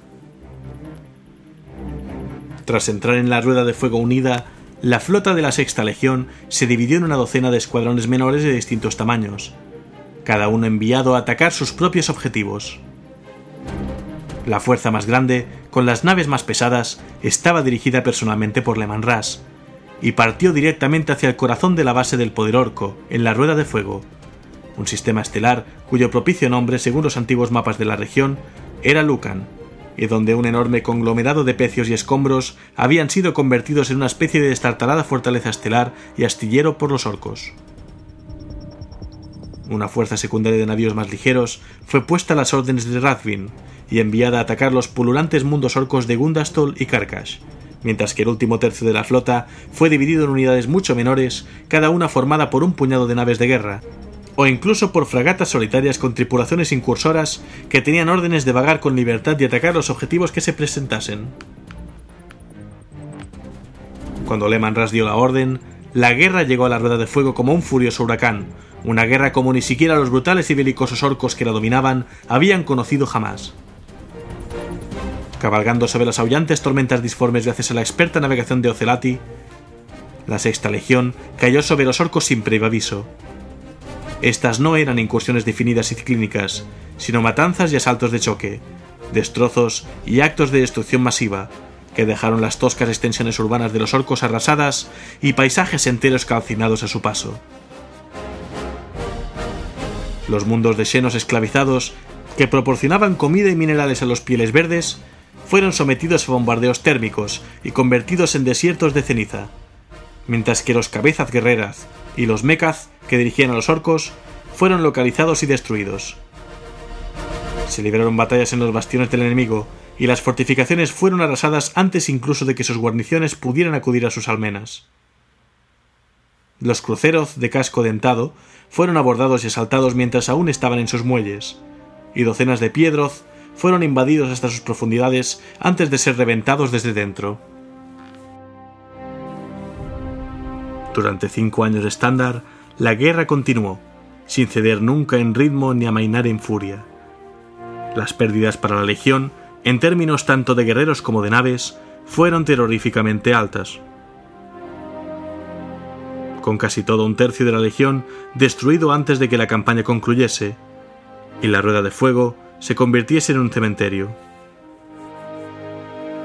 Entre los muchos caídos se incluía al cada vez más inestable Enoch Radvin, que fue aplastado por las garras hidráulicas de un infernal vehículo orco cuando encabezaba una carga suicida en Shiat. Pero por cada Astartes muerto, cientos o quizá miles de orcos habían perecido. Esta fue una guerra sin cuartel ni descanso, no un acto de conquista, sino de exterminio, llevado a cabo con una implacabilidad y constancia que ningún humano normal hubiera podido mantener. Para esto, era para lo que la Sexta Legión había sido creada, y en la Rueda de Fuego, como Ras había prometido, fue forjada de nuevo. Las antiguas brutalidades y excesos de los que se había acusado a la Sexta Legión fueron compensados bajo el mando de Leman Ras, con su sed de sangre controlada por la disciplina y una voluntad de hierro, y su rabia controlada por el deber y una lealtad jurada, Ras hizo a su legión enorgullecerse de lo que era, del poder que blandía, e incluso de la monstruosa violencia que acechaba en su corazón. Pero a pesar de esto, no les permitió ansiar la gloria por sí sola, ni regodearse en el amargo veneno de la matanza sin sentido. Les dio un propósito y honor, por sombríos que fueran, servían al emperador y ese deber era sagrado. Estaban hechos para ser los colmillos clavados en la garganta de los enemigos de la humanidad. Del mismo modo que en Fenris, la guerra siempre estaría sometida a la supervivencia de los suyos, y la galaxia sería convertida en un lugar seguro para la vida humana, incluso si los lobos que acechan entre las estrellas tenían que limpiarla primero con sangre.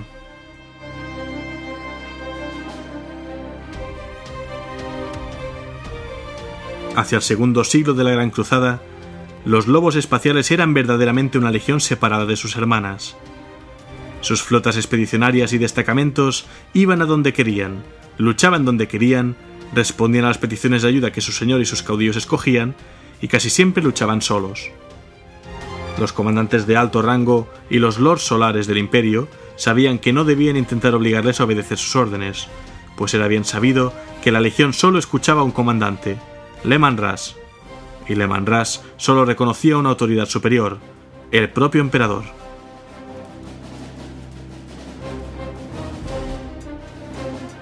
La legión era férrea e inamovible en su lealtad, y le importaba poco o nada la opinión que pudiera tener de ellos cualquier otro, fuera primarca o gobernador. Entre sus legiones hermanas, mantenían una particular camaradería y rivalidad a partes iguales con los ángeles oscuros, con quienes habían compartido oscuros sucesos históricos, pero hacia las demás parecían sentir un respeto distante en el mejor de los casos, una indiferencia apenas disimulada para otras, y al menos en el caso de los mirijos, un absoluto desprecio. La Legión no controlaba ni necesitaba más dominios que Fenris.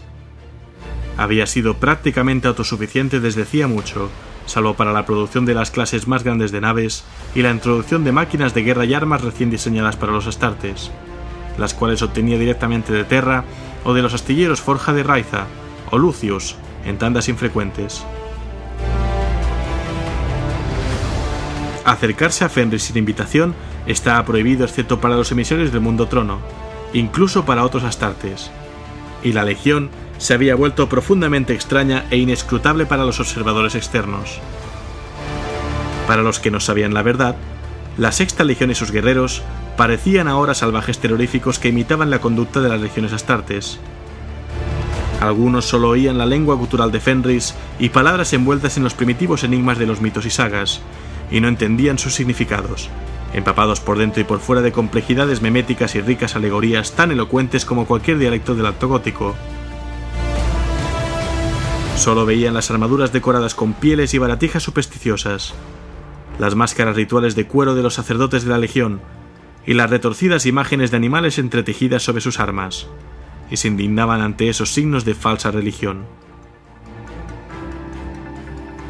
No veían los adornos externos de una intrincada cultura marcial que aportaba disciplina y control a la furia que hervía en el corazón de la Legión, y que permitía a sus miembros combatir contra los enemigos más temibles, blindados en su creencia en sí mismos y sus hermanos, y unidos por la voluntad de hierro. En suma, muchos miraban a los lobos espaciales y sentían miedo, pero no sabían que este mismo miedo les era provocado deliberadamente. Veían barbarie, pero no entendían que ese salvajismo estaba afilado y templado hasta alcanzar un filo mortal por sus finas mentes. De este modo, tanto aliados como enemigos veían lo que los lobos espaciales querían que viesen, y muchos subestimaban a la Sexta Legión y el arma en que se había convertido en manos del emperador.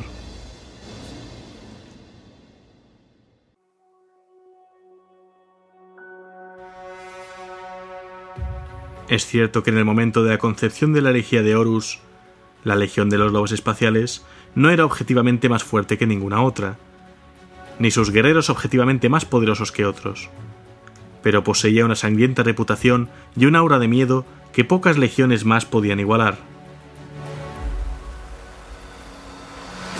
Asimismo, era hasta para sus hermanas una fuerza impredecible, peligrosa e ignota, pero nadie dudaba de que era absolutamente leal a Terra y a su señor, del mismo modo que nadie dudaba de que si recurría a ellos no habría nada que los lobos espaciales no harían, ni de que no se negarían a realizar ningún acto de destrucción, por grande que fuera, si el emperador así lo exigía. Apartada y opaca ante los extraños, la legión apenas se vio afectada por la agitación política que rodeó tanto el proyecto Librarius como el adicto de capellanía, ya que sus propias regulaciones y cultura marcial se tragaban cualquier intento de injerencia externa sin dejar rastro, y la idea de que las logias guerreras de Horus echasen raíces entre los lobos espaciales era ridícula. De hecho, no hay prueba alguna de que algo así llegase siquiera a intentarse. Cuando Horus fue nombrado señor de la guerra, todas las pruebas indican que los lobos espaciales de su primarca respetaron esta decisión como la voluntad del emperador y obedecieron, pero lo hicieron como un deber al que estaban sometidos por juramento, más que con entusiasmo, e hicieron poco por desarrollar lazos directos con el nuevo líder supremo de la Gran Cruzada. Por su parte, antes incluso de caer en desgracia, Horus parecía ya tratar con la legión a distancia, prefiriendo la compañía y el servicio directo de otras legiones, con las que llevaba más tiempo asociado y que eran más receptivas a sus órdenes como sustituto del emperador. Debido a esto, quizás Horus vio en la asignación de los lobos espaciales a la censura de los mirijos como un regalo del destino, que le permitiría neutralizar dos potenciales espinas en su costado para la futura traición. Y tal vez el architraidor pretendía tanto el desgaste de los lobos espaciales como silenciar a Magnus. Lo que en algunos aspectos era el punto fuerte de la Legión, también podía ser su debilidad, pues aprovechando su antipatía hacia los hechiceros de los mirijos, el señor de la guerra Horus, que aún no había revelado su perfidia, manipuló a los lobos espaciales para que convirtieran lo que iba a ser una misión de censura y arresto en Próspero en una auténtica masacre.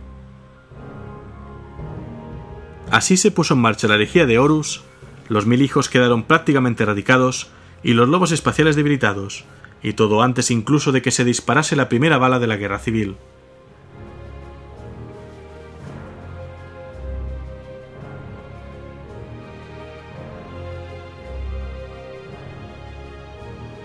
En marcado contraste con los lobos espaciales, tildados de salvajes y bárbaros, la Legión de los Mil Hijos estaba obsesionada con la búsqueda de la sabiduría y el conocimiento, especialmente en relación con la brujería y el poder psíquico de la disformidad.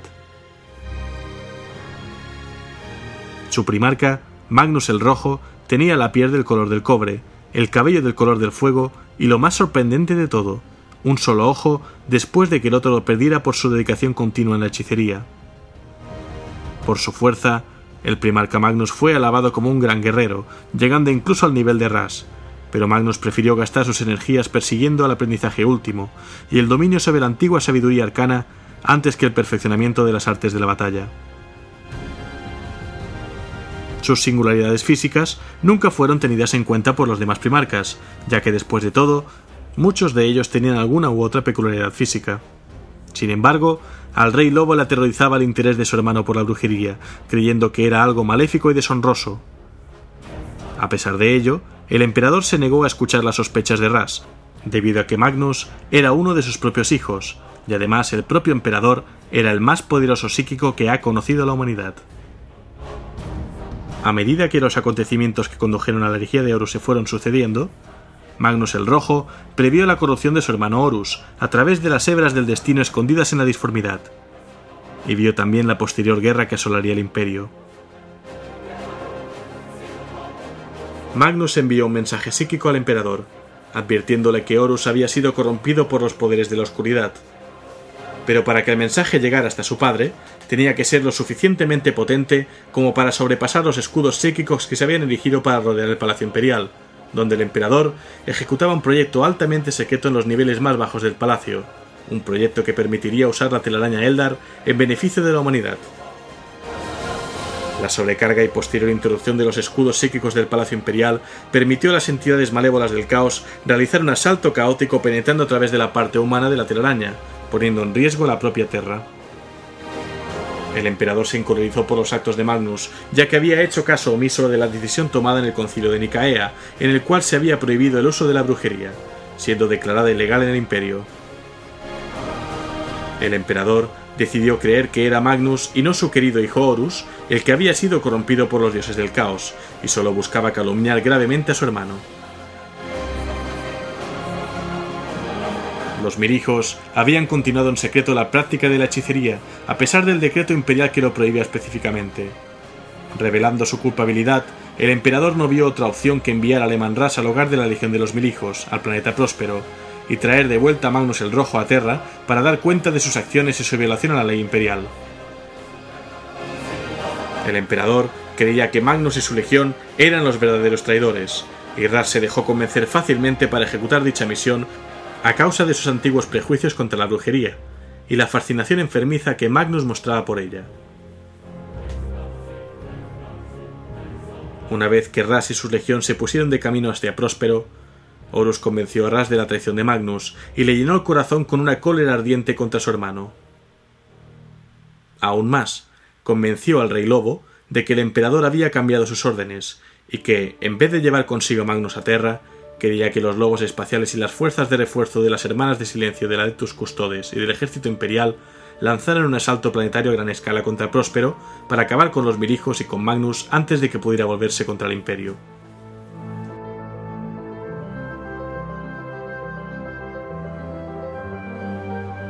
Las malévolas tretas de Horus tuvieron éxito, y Próspero fue asaltado y bombardeado, causando la muerte a millones en cuestión de días. La capital del planeta, la gran ciudad de Tisca, la ciudad de la luz, quedó reducida a un paisaje destrozado de pirámides incandescentes. A pesar de una enconada defensa y del uso masivo de la hechicería, los mirijos no pudieron hacer frente a la furia de toda la legión de los lobos espaciales y sus aliados imperiales en el campo de la guerra. En la titánica batalla final entre Leman Ras y Magnus el Rojo, el primarca hechicero utilizó su poder para hacerse más fuerte y poderoso, y se resistió al ataque del Rey Lobo, llegando a perforar uno de los corazones de Ras. Enfurecido al límite por la deshonorable hechicería, Ras concentró todas sus fuerzas y agarrando a Magnus por la cabeza, lo levantó por encima de sus hombros y lo lanzó contra su rodilla, partiendo la espalda del rey carmesí. La larga y cruenta batalla estaba a punto de terminar. Ras tiró a Magnus al suelo, listo para darle la estocada final. Mientras se desenvolvía esta épica batalla, un grupo de poderosos hechiceros de los Mirijos convocaron una grieta a la disformidad después de haber pedido ayuda al dios del caos Finch, el cual aceptó el trato que le proponían los astartes de Tisca. En ese momento, Magnus y los Mirijos supervivientes desaparecieron súbitamente en la disformidad, evitando en el último instante que Magnus fuera ejecutado por Ras.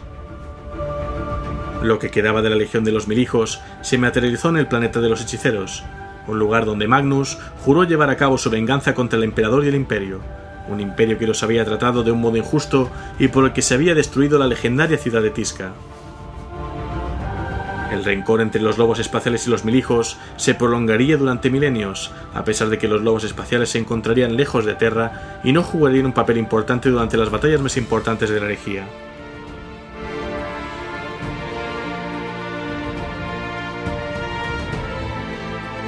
Tras la herejía de Horus, tuvo lugar la llamada Segunda Fundación, el primarca de la Legión de los Ultramarines, Robot Gilliman, propuso dividir todas las legiones de marines espaciales leales restantes en capítulos independientes de mil hombres cada uno para evitar concentrar en manos de un solo individuo tanto poder, y anular así cualquier otro intento de rebelión y que otra guerra civil pudiera tener éxito. Pero Lehman Ras se negó a dividir su legión, protegiéndola con éxito y evitando que se dividiera a través de varios pactos y acuerdos. Oficialmente, la legión se dividió en las trece grandes compañías, cada una dirigida por un capitán llamado Señor Lobo.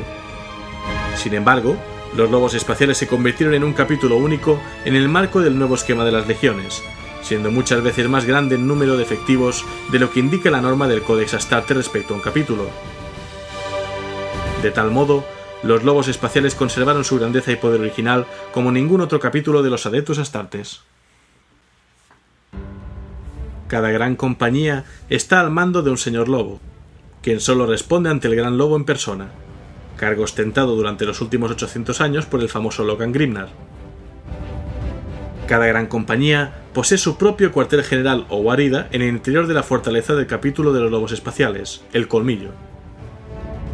Este edificio de acero de kilómetros de altura domina las montañas de Asaheim y se dice que es la fortaleza más segura del imperio, a excepción de las de Terra. El colmillo cumple las funciones de cuartel general, catedral y fortaleza para cada una de las grandes compañías. Prácticamente, a todos los efectos, cada gran compañía es un cuerpo de tropas independiente, con su propio armamento, flota, forjas, equipo y héroes ubicados en las profundidades del colmillo. Estas grandes compañías toman muchas cosas de su señor lobo actual, incluyendo su nombre. Cuando el señor lobo muere en batalla, se escoge a otro para reemplazarlo, así que la compañía se renombra, se reconstruye y se reorganiza. Esto proporciona una fluida estructura de mando en el interior del capítulo. La tasa de mortalidad de los lobos espaciales es alta, como no podía ser de otro modo, dada su predilección por el combate cuerpo a cuerpo. No obstante, algunos señores lobo particularmente fuertes han superado su primer milenio de vida. Cada señor lobo escoge un símbolo de la mitología de Fenris como sello personal, y es este el que adorna el estandarte de la compañía. El grito de guerra de los lobos espaciales difiere según la gran compañía que lo imita, pero en cualquier caso, lo cierto es que, al lanzar un asalto, cada miembro eleva su voz con un aullido que hiela la sangre.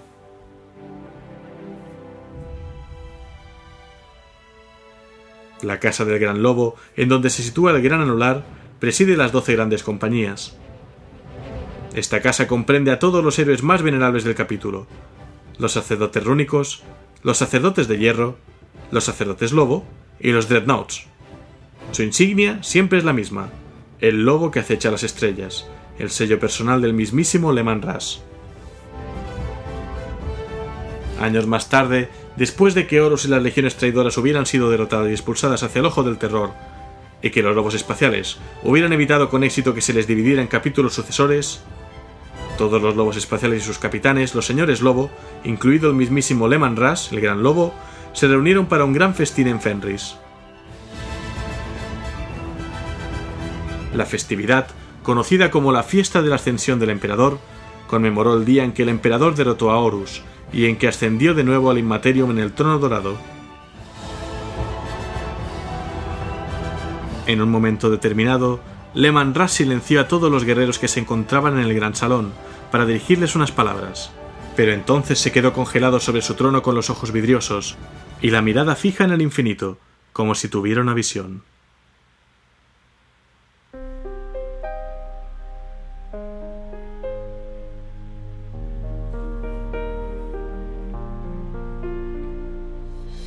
Los lobos espaciales allí reunidos vieron con horror cómo su primarca caía de rodillas y pedía a su guardia del lobo y a sus más allegados que lo asistieran. Todos, excepto el más joven, Bjorn Garra Implacable.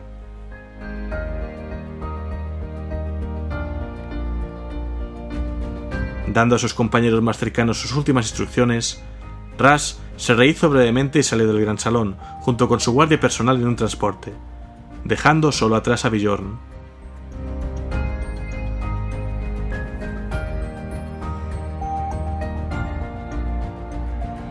Una vez cada mil años, el antiguo Dreadnought Bjorngara implacable es despertado de su letargo sin sueños. Reúne a todos los sacerdotes del capítulo en torno a él, les recita de nuevo las antiguas sagas y pone a prueba sus recuerdos sobre sus ancestros. Algunos veteranos y sabios lobos espaciales y otros venerables astartes son de la opinión que Ras dejó Fenris y viajó al ojo del terror para encontrar el legendario árbol de la vida. Una fuente de energía incorrupta escondida en aquel terrorífico lugar. Un árbol de la vida del cual se cuenta que su fruto sería capaz de curar al emperador y devolverle totalmente la vida.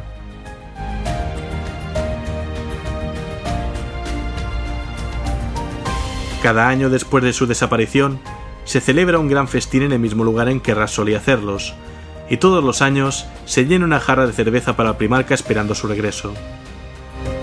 Durante siete largos y dolorosos años, los lobos espaciales esperaron pacientemente al perdido rey lobo, esperando que volviera con ellos. Pero viendo que no era así, Bjorn fue elegido como nuevo gran lobo y dirigió el capítulo en su primera gran cacería para buscar a Ras.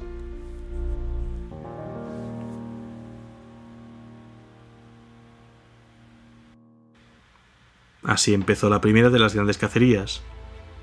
Las compañías de los lobos espaciales subieron a sus naves y partieron en distintas direcciones hacia el mar de las estrellas. La leyenda de las batallas que libramos y los mundos que descubrimos es larga, demasiado larga salvo para la víspera del eterno invierno. Con todo, al final, nuestra búsqueda fue en vano y no obtuvimos más que cuentos y profecías vacías. Así terminó con tristeza la primera gran cacería. No son desconocidos los casos en los que el espíritu de Ras otorga a un sacerdote único una visión y habla directamente con su mente. Sus palabras son las palabras del propio Ras. Es entonces cuando empieza una gran cacería. Aunque nunca hemos tenido éxito en nuestro objetivo final, hemos cosechado muchas victorias y hemos realizado muchas grandes tareas en nombre de Ras. Y al acabar, siempre nos quedamos con el consuelo de sus últimas palabras. Al final, volverá con nosotros, en la batalla final, en la hora del lobo.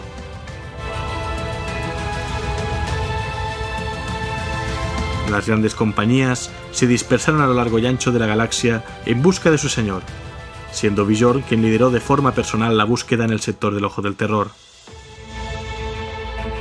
Bjorn fue mortalmente herido en batalla, por lo que fue sepultado en un dreadnought cuando los lobos espaciales volvieron a Fenris. A partir de entonces, hubo innumerables grandes cacerías a lo largo de los milenios, y muchas y gloriosas victorias se han celebrado. Cada nueva gran cacería se inicia cuando Ras habla a los aceroterrúnicos a través de visiones, otorgando a sus hijos su sabiduría de vez en cuando y ordenándoles nuevas misiones.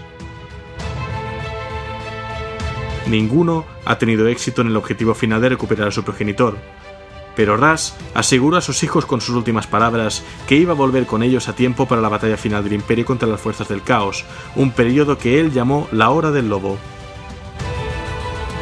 Aunque su armadura fue encontrada en un templo edificado para servir al culto a Horus en el Ojo del Terror durante una incursión, los lobos espaciales creen que Ras pronto estará con ellos y que peleará por el imperio de la humanidad. Al final del milenio 41, todas las fuerzas herejes que buscan la destrucción de la humanidad comienzan su asalto final sobre la misma. Incluso ahora, los informes de la aparición de la decimotercera gran compañía desde el Ojo del Terror durante la presente Cruzada Negra de Abaddon puede presagiar el regreso del Rey Lobo.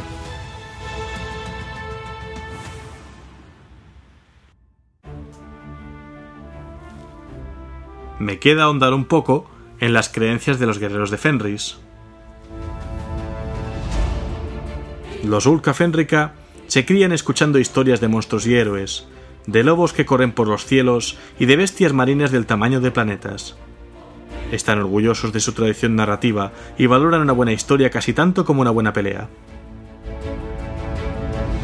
La mitología de Fenris está llena de fábulas que explican las proezas de los héroes, y muchas de sus leyendas giran en torno a los lobos de Fenris que medorean por Asaheim. Estas creencias paganas son miradas con desprecio por la, la pero lo cierto es que los hijos de Ras se niegan a abandonar sus creencias, incluso cuando sus colmillos son ya largos y tienen la piel curtida por el tiempo y arrugada por la vejez. La superstición está a la orden del día, y los lobos espaciales acuden con frecuencia a la batalla adornados con tótems y talismanes para atraer la buena suerte y protegerse de los malos espíritus. El elemento central de sus creencias es la figura de Leman Ras, a quien consideran más que un hombre y otorgan cualidades divinas. Los héroes son tenidos en gran consideración, y ninguno más que su primarca, junto al que creen que volverán a luchar en la última batalla, en el fin del mundo. Los héroes de los lobos espaciales se hacen célebres por realizar hazañas en batalla, o por estilos de combate que convierten en propios. Un guerrero que combate con un estilo propio utilizará equipo con el que resaltarlo más, luchará de un modo que acentúe su estilo natural e incluso cambiará su nombre para reflejarlo. La especialización puede conferirle habilidades sobrehumanas en el campo de batalla. Esto se refleja en los eventos de su saga, que recibe el nombre correspondiente. Por ejemplo, Canis, nacido lobo, lleva el nombre de la saga de los lobos porque cuando se dirige a la batalla lo hace con manadas de lobos de Fenris, sobre los que ejerce un enorme control. Este poder implica un coste. Para asegurar que el destino sonríe al capítulo, los sacerdotes rúnicos cargarán a sus héroes con un deber sagrado o un juramento. Y llevar un juramento a la batalla es un gran privilegio y un héroe no debería contravenirlo, a menos que pierda su honor o se pruebe que es falso. Cada saga tiene un juramento y deberán esforzarse por cumplirlo. Romper el juramento es una cuestión de honor, y el honor es algo que los lobos espaciales valoran enormemente. Cuando los Wilka Fenrika luchen y venzan manteniendo sus juramentos intactos, Ras estará orgulloso, pues habrán luchado y ganado con estilo, teniendo historias que contar a sus compañeros del capítulo. y brindarán con una jarra de cerveza por la gloria de Fenris y el emperador. Antes de despedir a Le Ras, voy a hablar un poco sobre sus poderes y su armamento. Durante la Gran Cruzada y la Legía de Horus, Le Ras vistió la armadura El Avagar, una armadura artesanal equipada con unos generadores de campos exotérmicos únicos en el imperio, cubierta de runas, pieles y marcas de la Legión de los Lobos Espaciales, amén de una panoplia de armas de distintos tipos que en ocasiones remataba con su yelmo del lobo. Iba armado con la espada de Noche Siniestra, conocida como Halnar, una antigua hoja cuya oscura leyenda procedía de la era de los conflictos, y también con Hellwinter, una gran hacha gélida con el filo hecho a partir de los dientes de un kraken cazado por él mismo, así como el rifle escupe desprecio, y con granadas de fragmentación. Otros objetos de combate asociados al rey lobo fueron la espada gélida Krakenmau, que se rompió al chocar contra el diente de bronce de Angron en la noche del lobo, y la llamada lanza de Ras, un obsequio del emperador sobre el que los señores lobo le juraban lealtad al primarca y al señor de la humanidad, pero que Ras en realidad solía perder con frecuencia y la mostraba solo para complacer a su padre. En cuanto a miembros conocidos de la Sexta Legión, voy a mencionar a Leman Ras, primarca y rey lobo de Fenris, a Gunnar Gonhild, un señor lobo, o como ellos lo llaman Harl, de la primera gran compañía, es decir, la ON. Menciono también a Orthelm, sargento de la Guardia del Lobo de la primera gran compañía, que acompañó a Leman Ras durante la batalla de Próspero. También voy a hablar de Ofgai Ofgai Helmskroth, señor lobo de la tercera gran compañía, a Ulburul Georoth y a Aun Hellwinter, sacerdotes rúnicos de la tercera gran compañía, a Najo Treader, sacerdote lobo de la tercera gran compañía, a Bar Cuchillo Rojo, señor lobo de la cuarta gran compañía, este de la saga del Cuchillo Rojo, a Amlodis Carsen señor lobo de la quinta gran compañía, la FIF, y aparte de esto también participante en la batalla de Próspero, a Baranger, heraldo de Lord Skarsenson, a Other Weirdmake, sacerdote rúnico de la quinta gran compañía que fingió hacerse amigo de Azek Ariman, el bibliotecario jefe de los mil hijos, para, digamos, aprender sobre su cultura y luego testificar en su contra en el edicto de, de Nicaea, en el concilio de Nicaea, a Vision Garra Implacable, hermano de batalla y luego gran primer, primer gran lobo de la Tra, a Geigor Felhan, sargento de la Guardia del Lobo, también participante en la batalla de Próspero, a Harek Ironhelm, gran lobo, ya fallecido, y a Ragnar Blackmane, señor lobo. En cuanto a naves conocidas, la ya citada Raffenkel, un acorazado clase gloriana y nave insignia de la Sexta Legión dirigida por el primarca alemán Ras en persona, el Nido Hur, un acorazado y nave insignia del Tra, que es la tercera gran compañía, el Aerumnir, otro acorazado, nave insignia del Deck Tra, la decimotercera gran compañía, el Ragnarok, un acorazado que luchó en la quema de Próspero, la Espíritu Lobo, que era una barcaza de batalla activa durante la elegía de Horus, la Hoja de la Tormenta, nave activa durante la Gran Cruzada, el Honor del Padre de todas las cosas, que era una barcaza de batalla y actual nave insignia del capítulo, Nahilfarheim, barcaza de batalla que luchó en la primera guerra por Armagedón, recordemos que es la que se lucha contra Angron, contra los demonios del caos.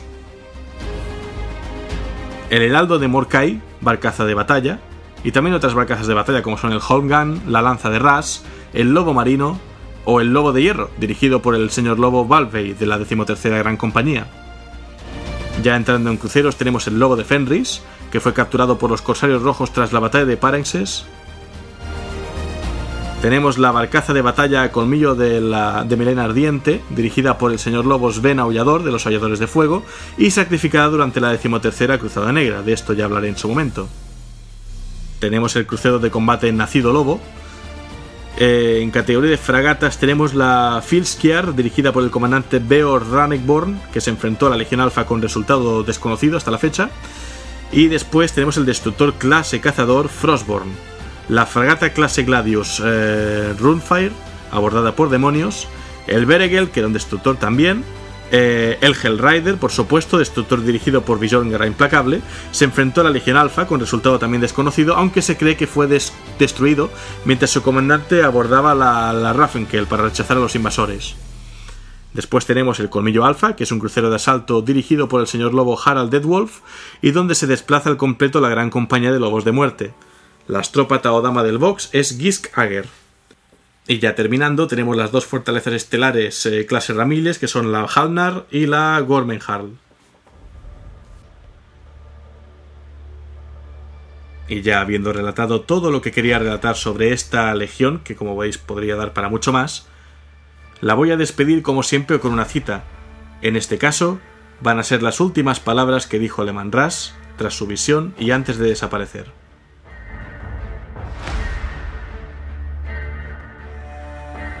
Escuchadme con atención, hermanos, porque el aliento de mi vida está casi exhausto.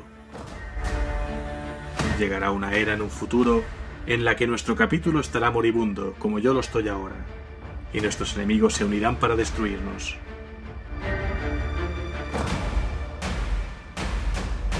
Entonces, hijos míos, yo escucharé vuestra llamada, sea cual sea el reino de la muerte en el que me encuentre, y me reuniré con vosotros, lo prohíban o no las leyes de la vida y de la muerte. En el momento final, estaré junto a vosotros.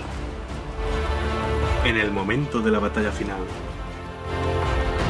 En la hora del lobo.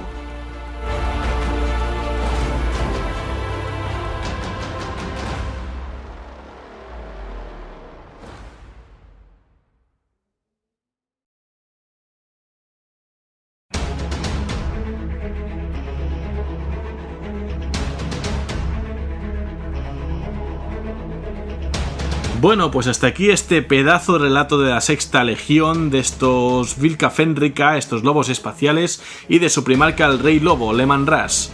Como podéis ver, es un relato muy largo, creo que es el más largo que he hecho hasta hoy, pero es que no es para menos. Espero que os haya gustado mucho. Y en fin, este ha sido el programa de hoy de la Biblioteca de Tisca, vuestro podcast de trasfondo de Warhammer 40.000 en castellano. Como ya sabéis, podéis escucharme en Spreaker Radio, en iTunes y en iVoox, vuestro kiosco de podcast online. Y además podéis siempre darme vuestro feedback, cualquier idea, crítica, sugerencia, corrección, petición, lo que os apetezca compartir, como siempre en todos mis canales y mis redes sociales. facebook.com barra la biblioteca de Tisca. En Twitter el usuario arroba biblioteca Tisca. Y en Google Plus, en YouTube y en Steam las comunidades llamadas la biblioteca de Tisca.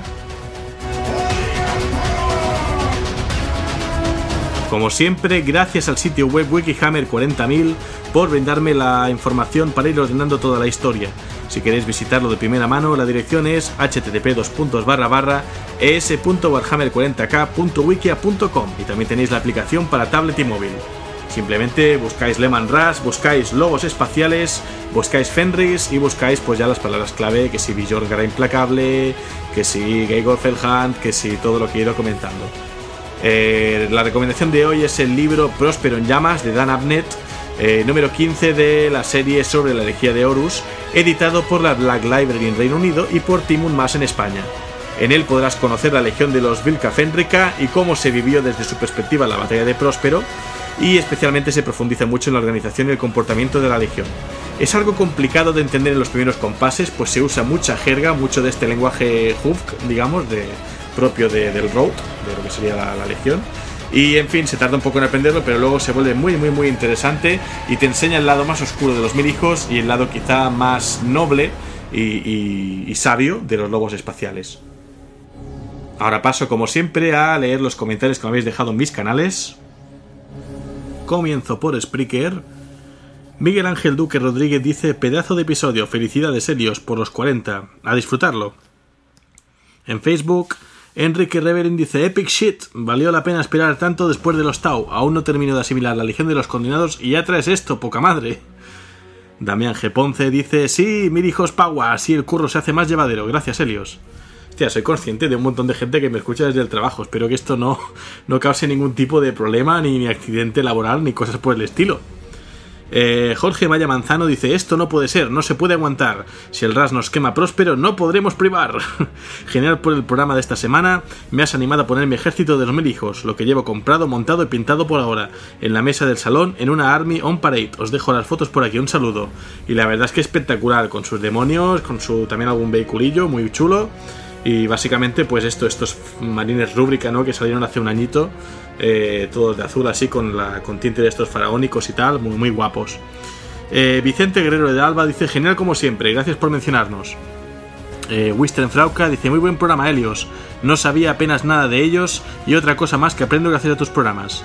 Eh, Miquel Andos Linares dice, oye, yo soy de Sabadell, si alguna vez te das al Dark Heresy, avisa, a ver si me puedo desplazar. Y apúntame al WAG de Warhammer World, que pinta muy bien. Paso ahora a Twitter. Faraón dice: Salve, momia conspiranoica, Faraón o User Cara a vuestro servicio. No hay manera de encontrar la comunidad en Steam. Oye, pues es tan fácil como en Google buscar eh, Steam, la biblioteca de Tisca, y os debería salir enseguida al grupo para uniros. Si no, lo preguntáis y os paso enlace por privado. En YouTube, eh, Chihuahua Raptor dice: Muy buenos podcasts, saludos y ánimos con el proyecto. La Cobicon dice, me ha encantado. ¿Cómo se llama vuestra hermandad en Eternal Crusade o vuestra comunidad en Steam? Pues ambas igual. La biblioteca de Tisca, creo que la de Eternal Crusade también se llamaba igual. Eh, porque ahora mismo no, no, lo tengo muy en la cabeza. Enhorabuena, sigue así y a ver si sale algo de, de la mejor de las legiones, los ultramarines, Imperator Protectivus. Ezequiel Bruno dice muy buen trabajo, me he escuchado todos los programas, soy un jugador veterano y coleccionista de ejércitos. Por cierto, ¿qué música o qué título tiene el tema que suena en el minuto 25 del programa de los mil hijos? Gracias. Pues el tema se llama... Eh... Bueno, no, era el de los mil hijos, era otro programa creo que estaba escuchando. Pero el programa se llama A Tale of Two Uh, of Two Kingdoms, eh, el, digamos, el cuento de los dos reinos, de Gregoire Lorme, Gregoire Lorme. Si lo buscáis en yamendo.com lo encontraréis gratuitamente, está, está libre para descargar. Hispanorum Rex dice, enhorabuena, hermano de batalla. Película 01 dice, gracias, esperando esto hace mucho tiempo. Diego Flores dice, lo de los mil hijos fue una tragedia. Eh, Hispanorum le responde debajo, fue peor lo de los mil hijos de, lo de los hijos del emperador, dice. Efectivamente, fueron las dos bastante tragedia, aunque para mí los mil hijos, entre comillas, murieron también por su propia... Es que tanto los mil hijos como los hijos del emperador es todavía para debate, pero ambos está claro que mueren por su defecto más característico, ¿no? Uno por su codicia en cuanto al conocimiento de la hechicería, el conocimiento prohibido, y otros por su propia arrogancia, ¿no? Por su presuntuosidad, esta, esta especie de superioridad que siempre quieren buscar la perfección y demás y mueren por esto, ¿no? Mm, pero bueno, es un poco distinto. La verdad es que la caída de los hijos del emperador es bastante más desaliñada. Todo, todo lo de los mil hijos al final se acaba resolviendo en el último segundo, ¿no? Eh, Pau Núñez Jaime dice: He visto que cogiste mi idea de poner los comentarios al final. Una pasada de vídeos. Ya he compartido tu canal con los colegas. Sigue así. Pues efectivamente, sé que hay gente que no le ha gustado mucho. A mí al principio también me ha costado acostumbrarme. Pero imagino que la gente que lo escuche en, YouTube, a menos que escuche varios programas seguidos, le va a ser más cómodo. Si escucha varios seguidos, le va a resultar lo mismo, ¿no? Va a tener que saltar el trozo que, no le interese. Arcadio M dice, por fin. Jorge RDH dice, ya llevas 40, enhorabuena. Buscad Black Templar Aiment and Attack en YouTube. Y yo lo he buscado y es un, digamos, un videoclip con un tema musical espectacular. Eh, Carl Franzoger dice, ¿para cuándo un programa del regimiento Kors de la muerte de Krieg? Bueno, es que, a ver, queda, queda mucho de lo que hablar todavía. Acordaos de que cuando termine con esto de las legiones, que siempre hago un paréntesis, todavía me queda hablar de los tiránidos. Cuando acabe de los tiránidos hay que si regimientos de la Guardia Imperial, que si personajes o héroes en particular, que si conflictos. Mm, ya os digo que en el próximo programa va a haber una dramatización que espero que os guste mucho, eh, en línea de las que hice de la batalla final en Terra o de las guerras de Armagedón. Y luego, por supuesto, va a venir lo divertido, que es que ya tengo a, medio leer todo lo que sería el libro de Gathering Storm para hablaros de la caída de Cadia, hablaros también de, del resurgimiento, digamos, de estos Inari, ¿no? De los Aeldari, y también de la, del retorno, del regreso del Primarca. ¿Qué Primarca? Robot Gilliman. O sea que hay material para años y entre ellos pues habrá también regimientos por supuesto de la Guardia Imperial. Así que todos a esperar su turno, que con paciencia todo llegará. Desde luego no voy a destripar en un único año todo el trasfondo de Warhammer 40.000. Manuel Durán López dice a la espera del programa de mis lobos espaciales. Buen programa. Y luego por último en YouTube Warg dice que es como Warg pero con una R. Dice excelente, sigue así. Y pasando ya a Evox. Mmm, Aquí tengo a Melcar Haas que dice, sigue así Helios. Aunque no comento aquí cada episodio, sí que escucho todos tus programas. Muchas gracias por tu trabajo y espero que te escuchen hasta dentro del ojo del terror. Un abrazo. Epónimo dice, por cierto, ¿cómo hago para unirme a la peña del WAG? ¿Cómo? Pues esto lo voy a comentar al final del programa. Torium dice, muchas gracias por tu trabajo, Helios. Me ha encantado la historia de los mil hijos. Antes de conocer este podcast, había jugado un poco a los dos primeros Dawn of War.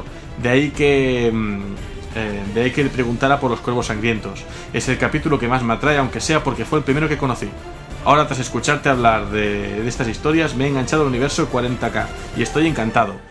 Pues justamente como comenté un poco de refilón, hay una teoría que dice que los, los eh, cuervos sangrientos podían ser descendientes de los mil hijos, aunque esto no está confirmado. Hay algunos eh, rasgos en común, como es la presencia de, de muchos psíquicos y también el amor por coleccionar reliquias antiguas y demás. Bond dice, gran trabajo Helios, una pequeña sugerencia para el futuro, pequeños relatos de personajes icónicos, fragmentos de historias e hitos importantes. Aquí desde La Roca atesoramos eh, todos y cada uno de los conocimientos que impartes. Un gran saludo al Club de Tierra Media en La Paz, Bolivia, donde se combaten legendarias batallas de Warhammer 40k. Pues un saludo a todos vosotros, también a la gente de Bolivia que me escuche y a este Club Tierra Media en La Paz. Eh, y por favor, subid alguna de estas fotos de estas batallas que comentáis. Miguel Ángel Moreno Fuentes dice increíble, está genial, me has, mantenido enganchado hasta el final, mi enhorabuena Helios, buena narración y banda sonora, un saludo. Juan Luis Mena Pineda dice me apunto al WAG, pues apuntado quedas. Javi N7 dice de lo mejor que has hecho, me dan ganas de empezar un ejército de los míricos. Y respecto a los lobos espaciales, solo tengo una cosa, muerte a esos perros pulgosos traidores egocéntricos. Don Pito Pocho dice, pobre Magnus, él solo quería ayudar. Efectivamente, pero ¿a qué precio, no? Eh, Epónimo dice también que ha dejado dos mensajes. Dice: Aquí te dejo mi primera promo. La Mini deja una pista sobre el libro que he elegido próximamente en Relatos Salvajes y deja su enlace al canal de Evox, que por cierto ya colgué en las páginas de Facebook, eh, Twitter, Google y demás. Si lo queréis buscar, seguramente lo volveré a publicar también más adelante. Yo no le he podido escuchar, ya, te, ya te comentaré a ver qué tal. Em, también dice, creo que de todos los trasfondos de los primarcas, el del cíclope rojo es el más trágico, digno de lástima, indudablemente.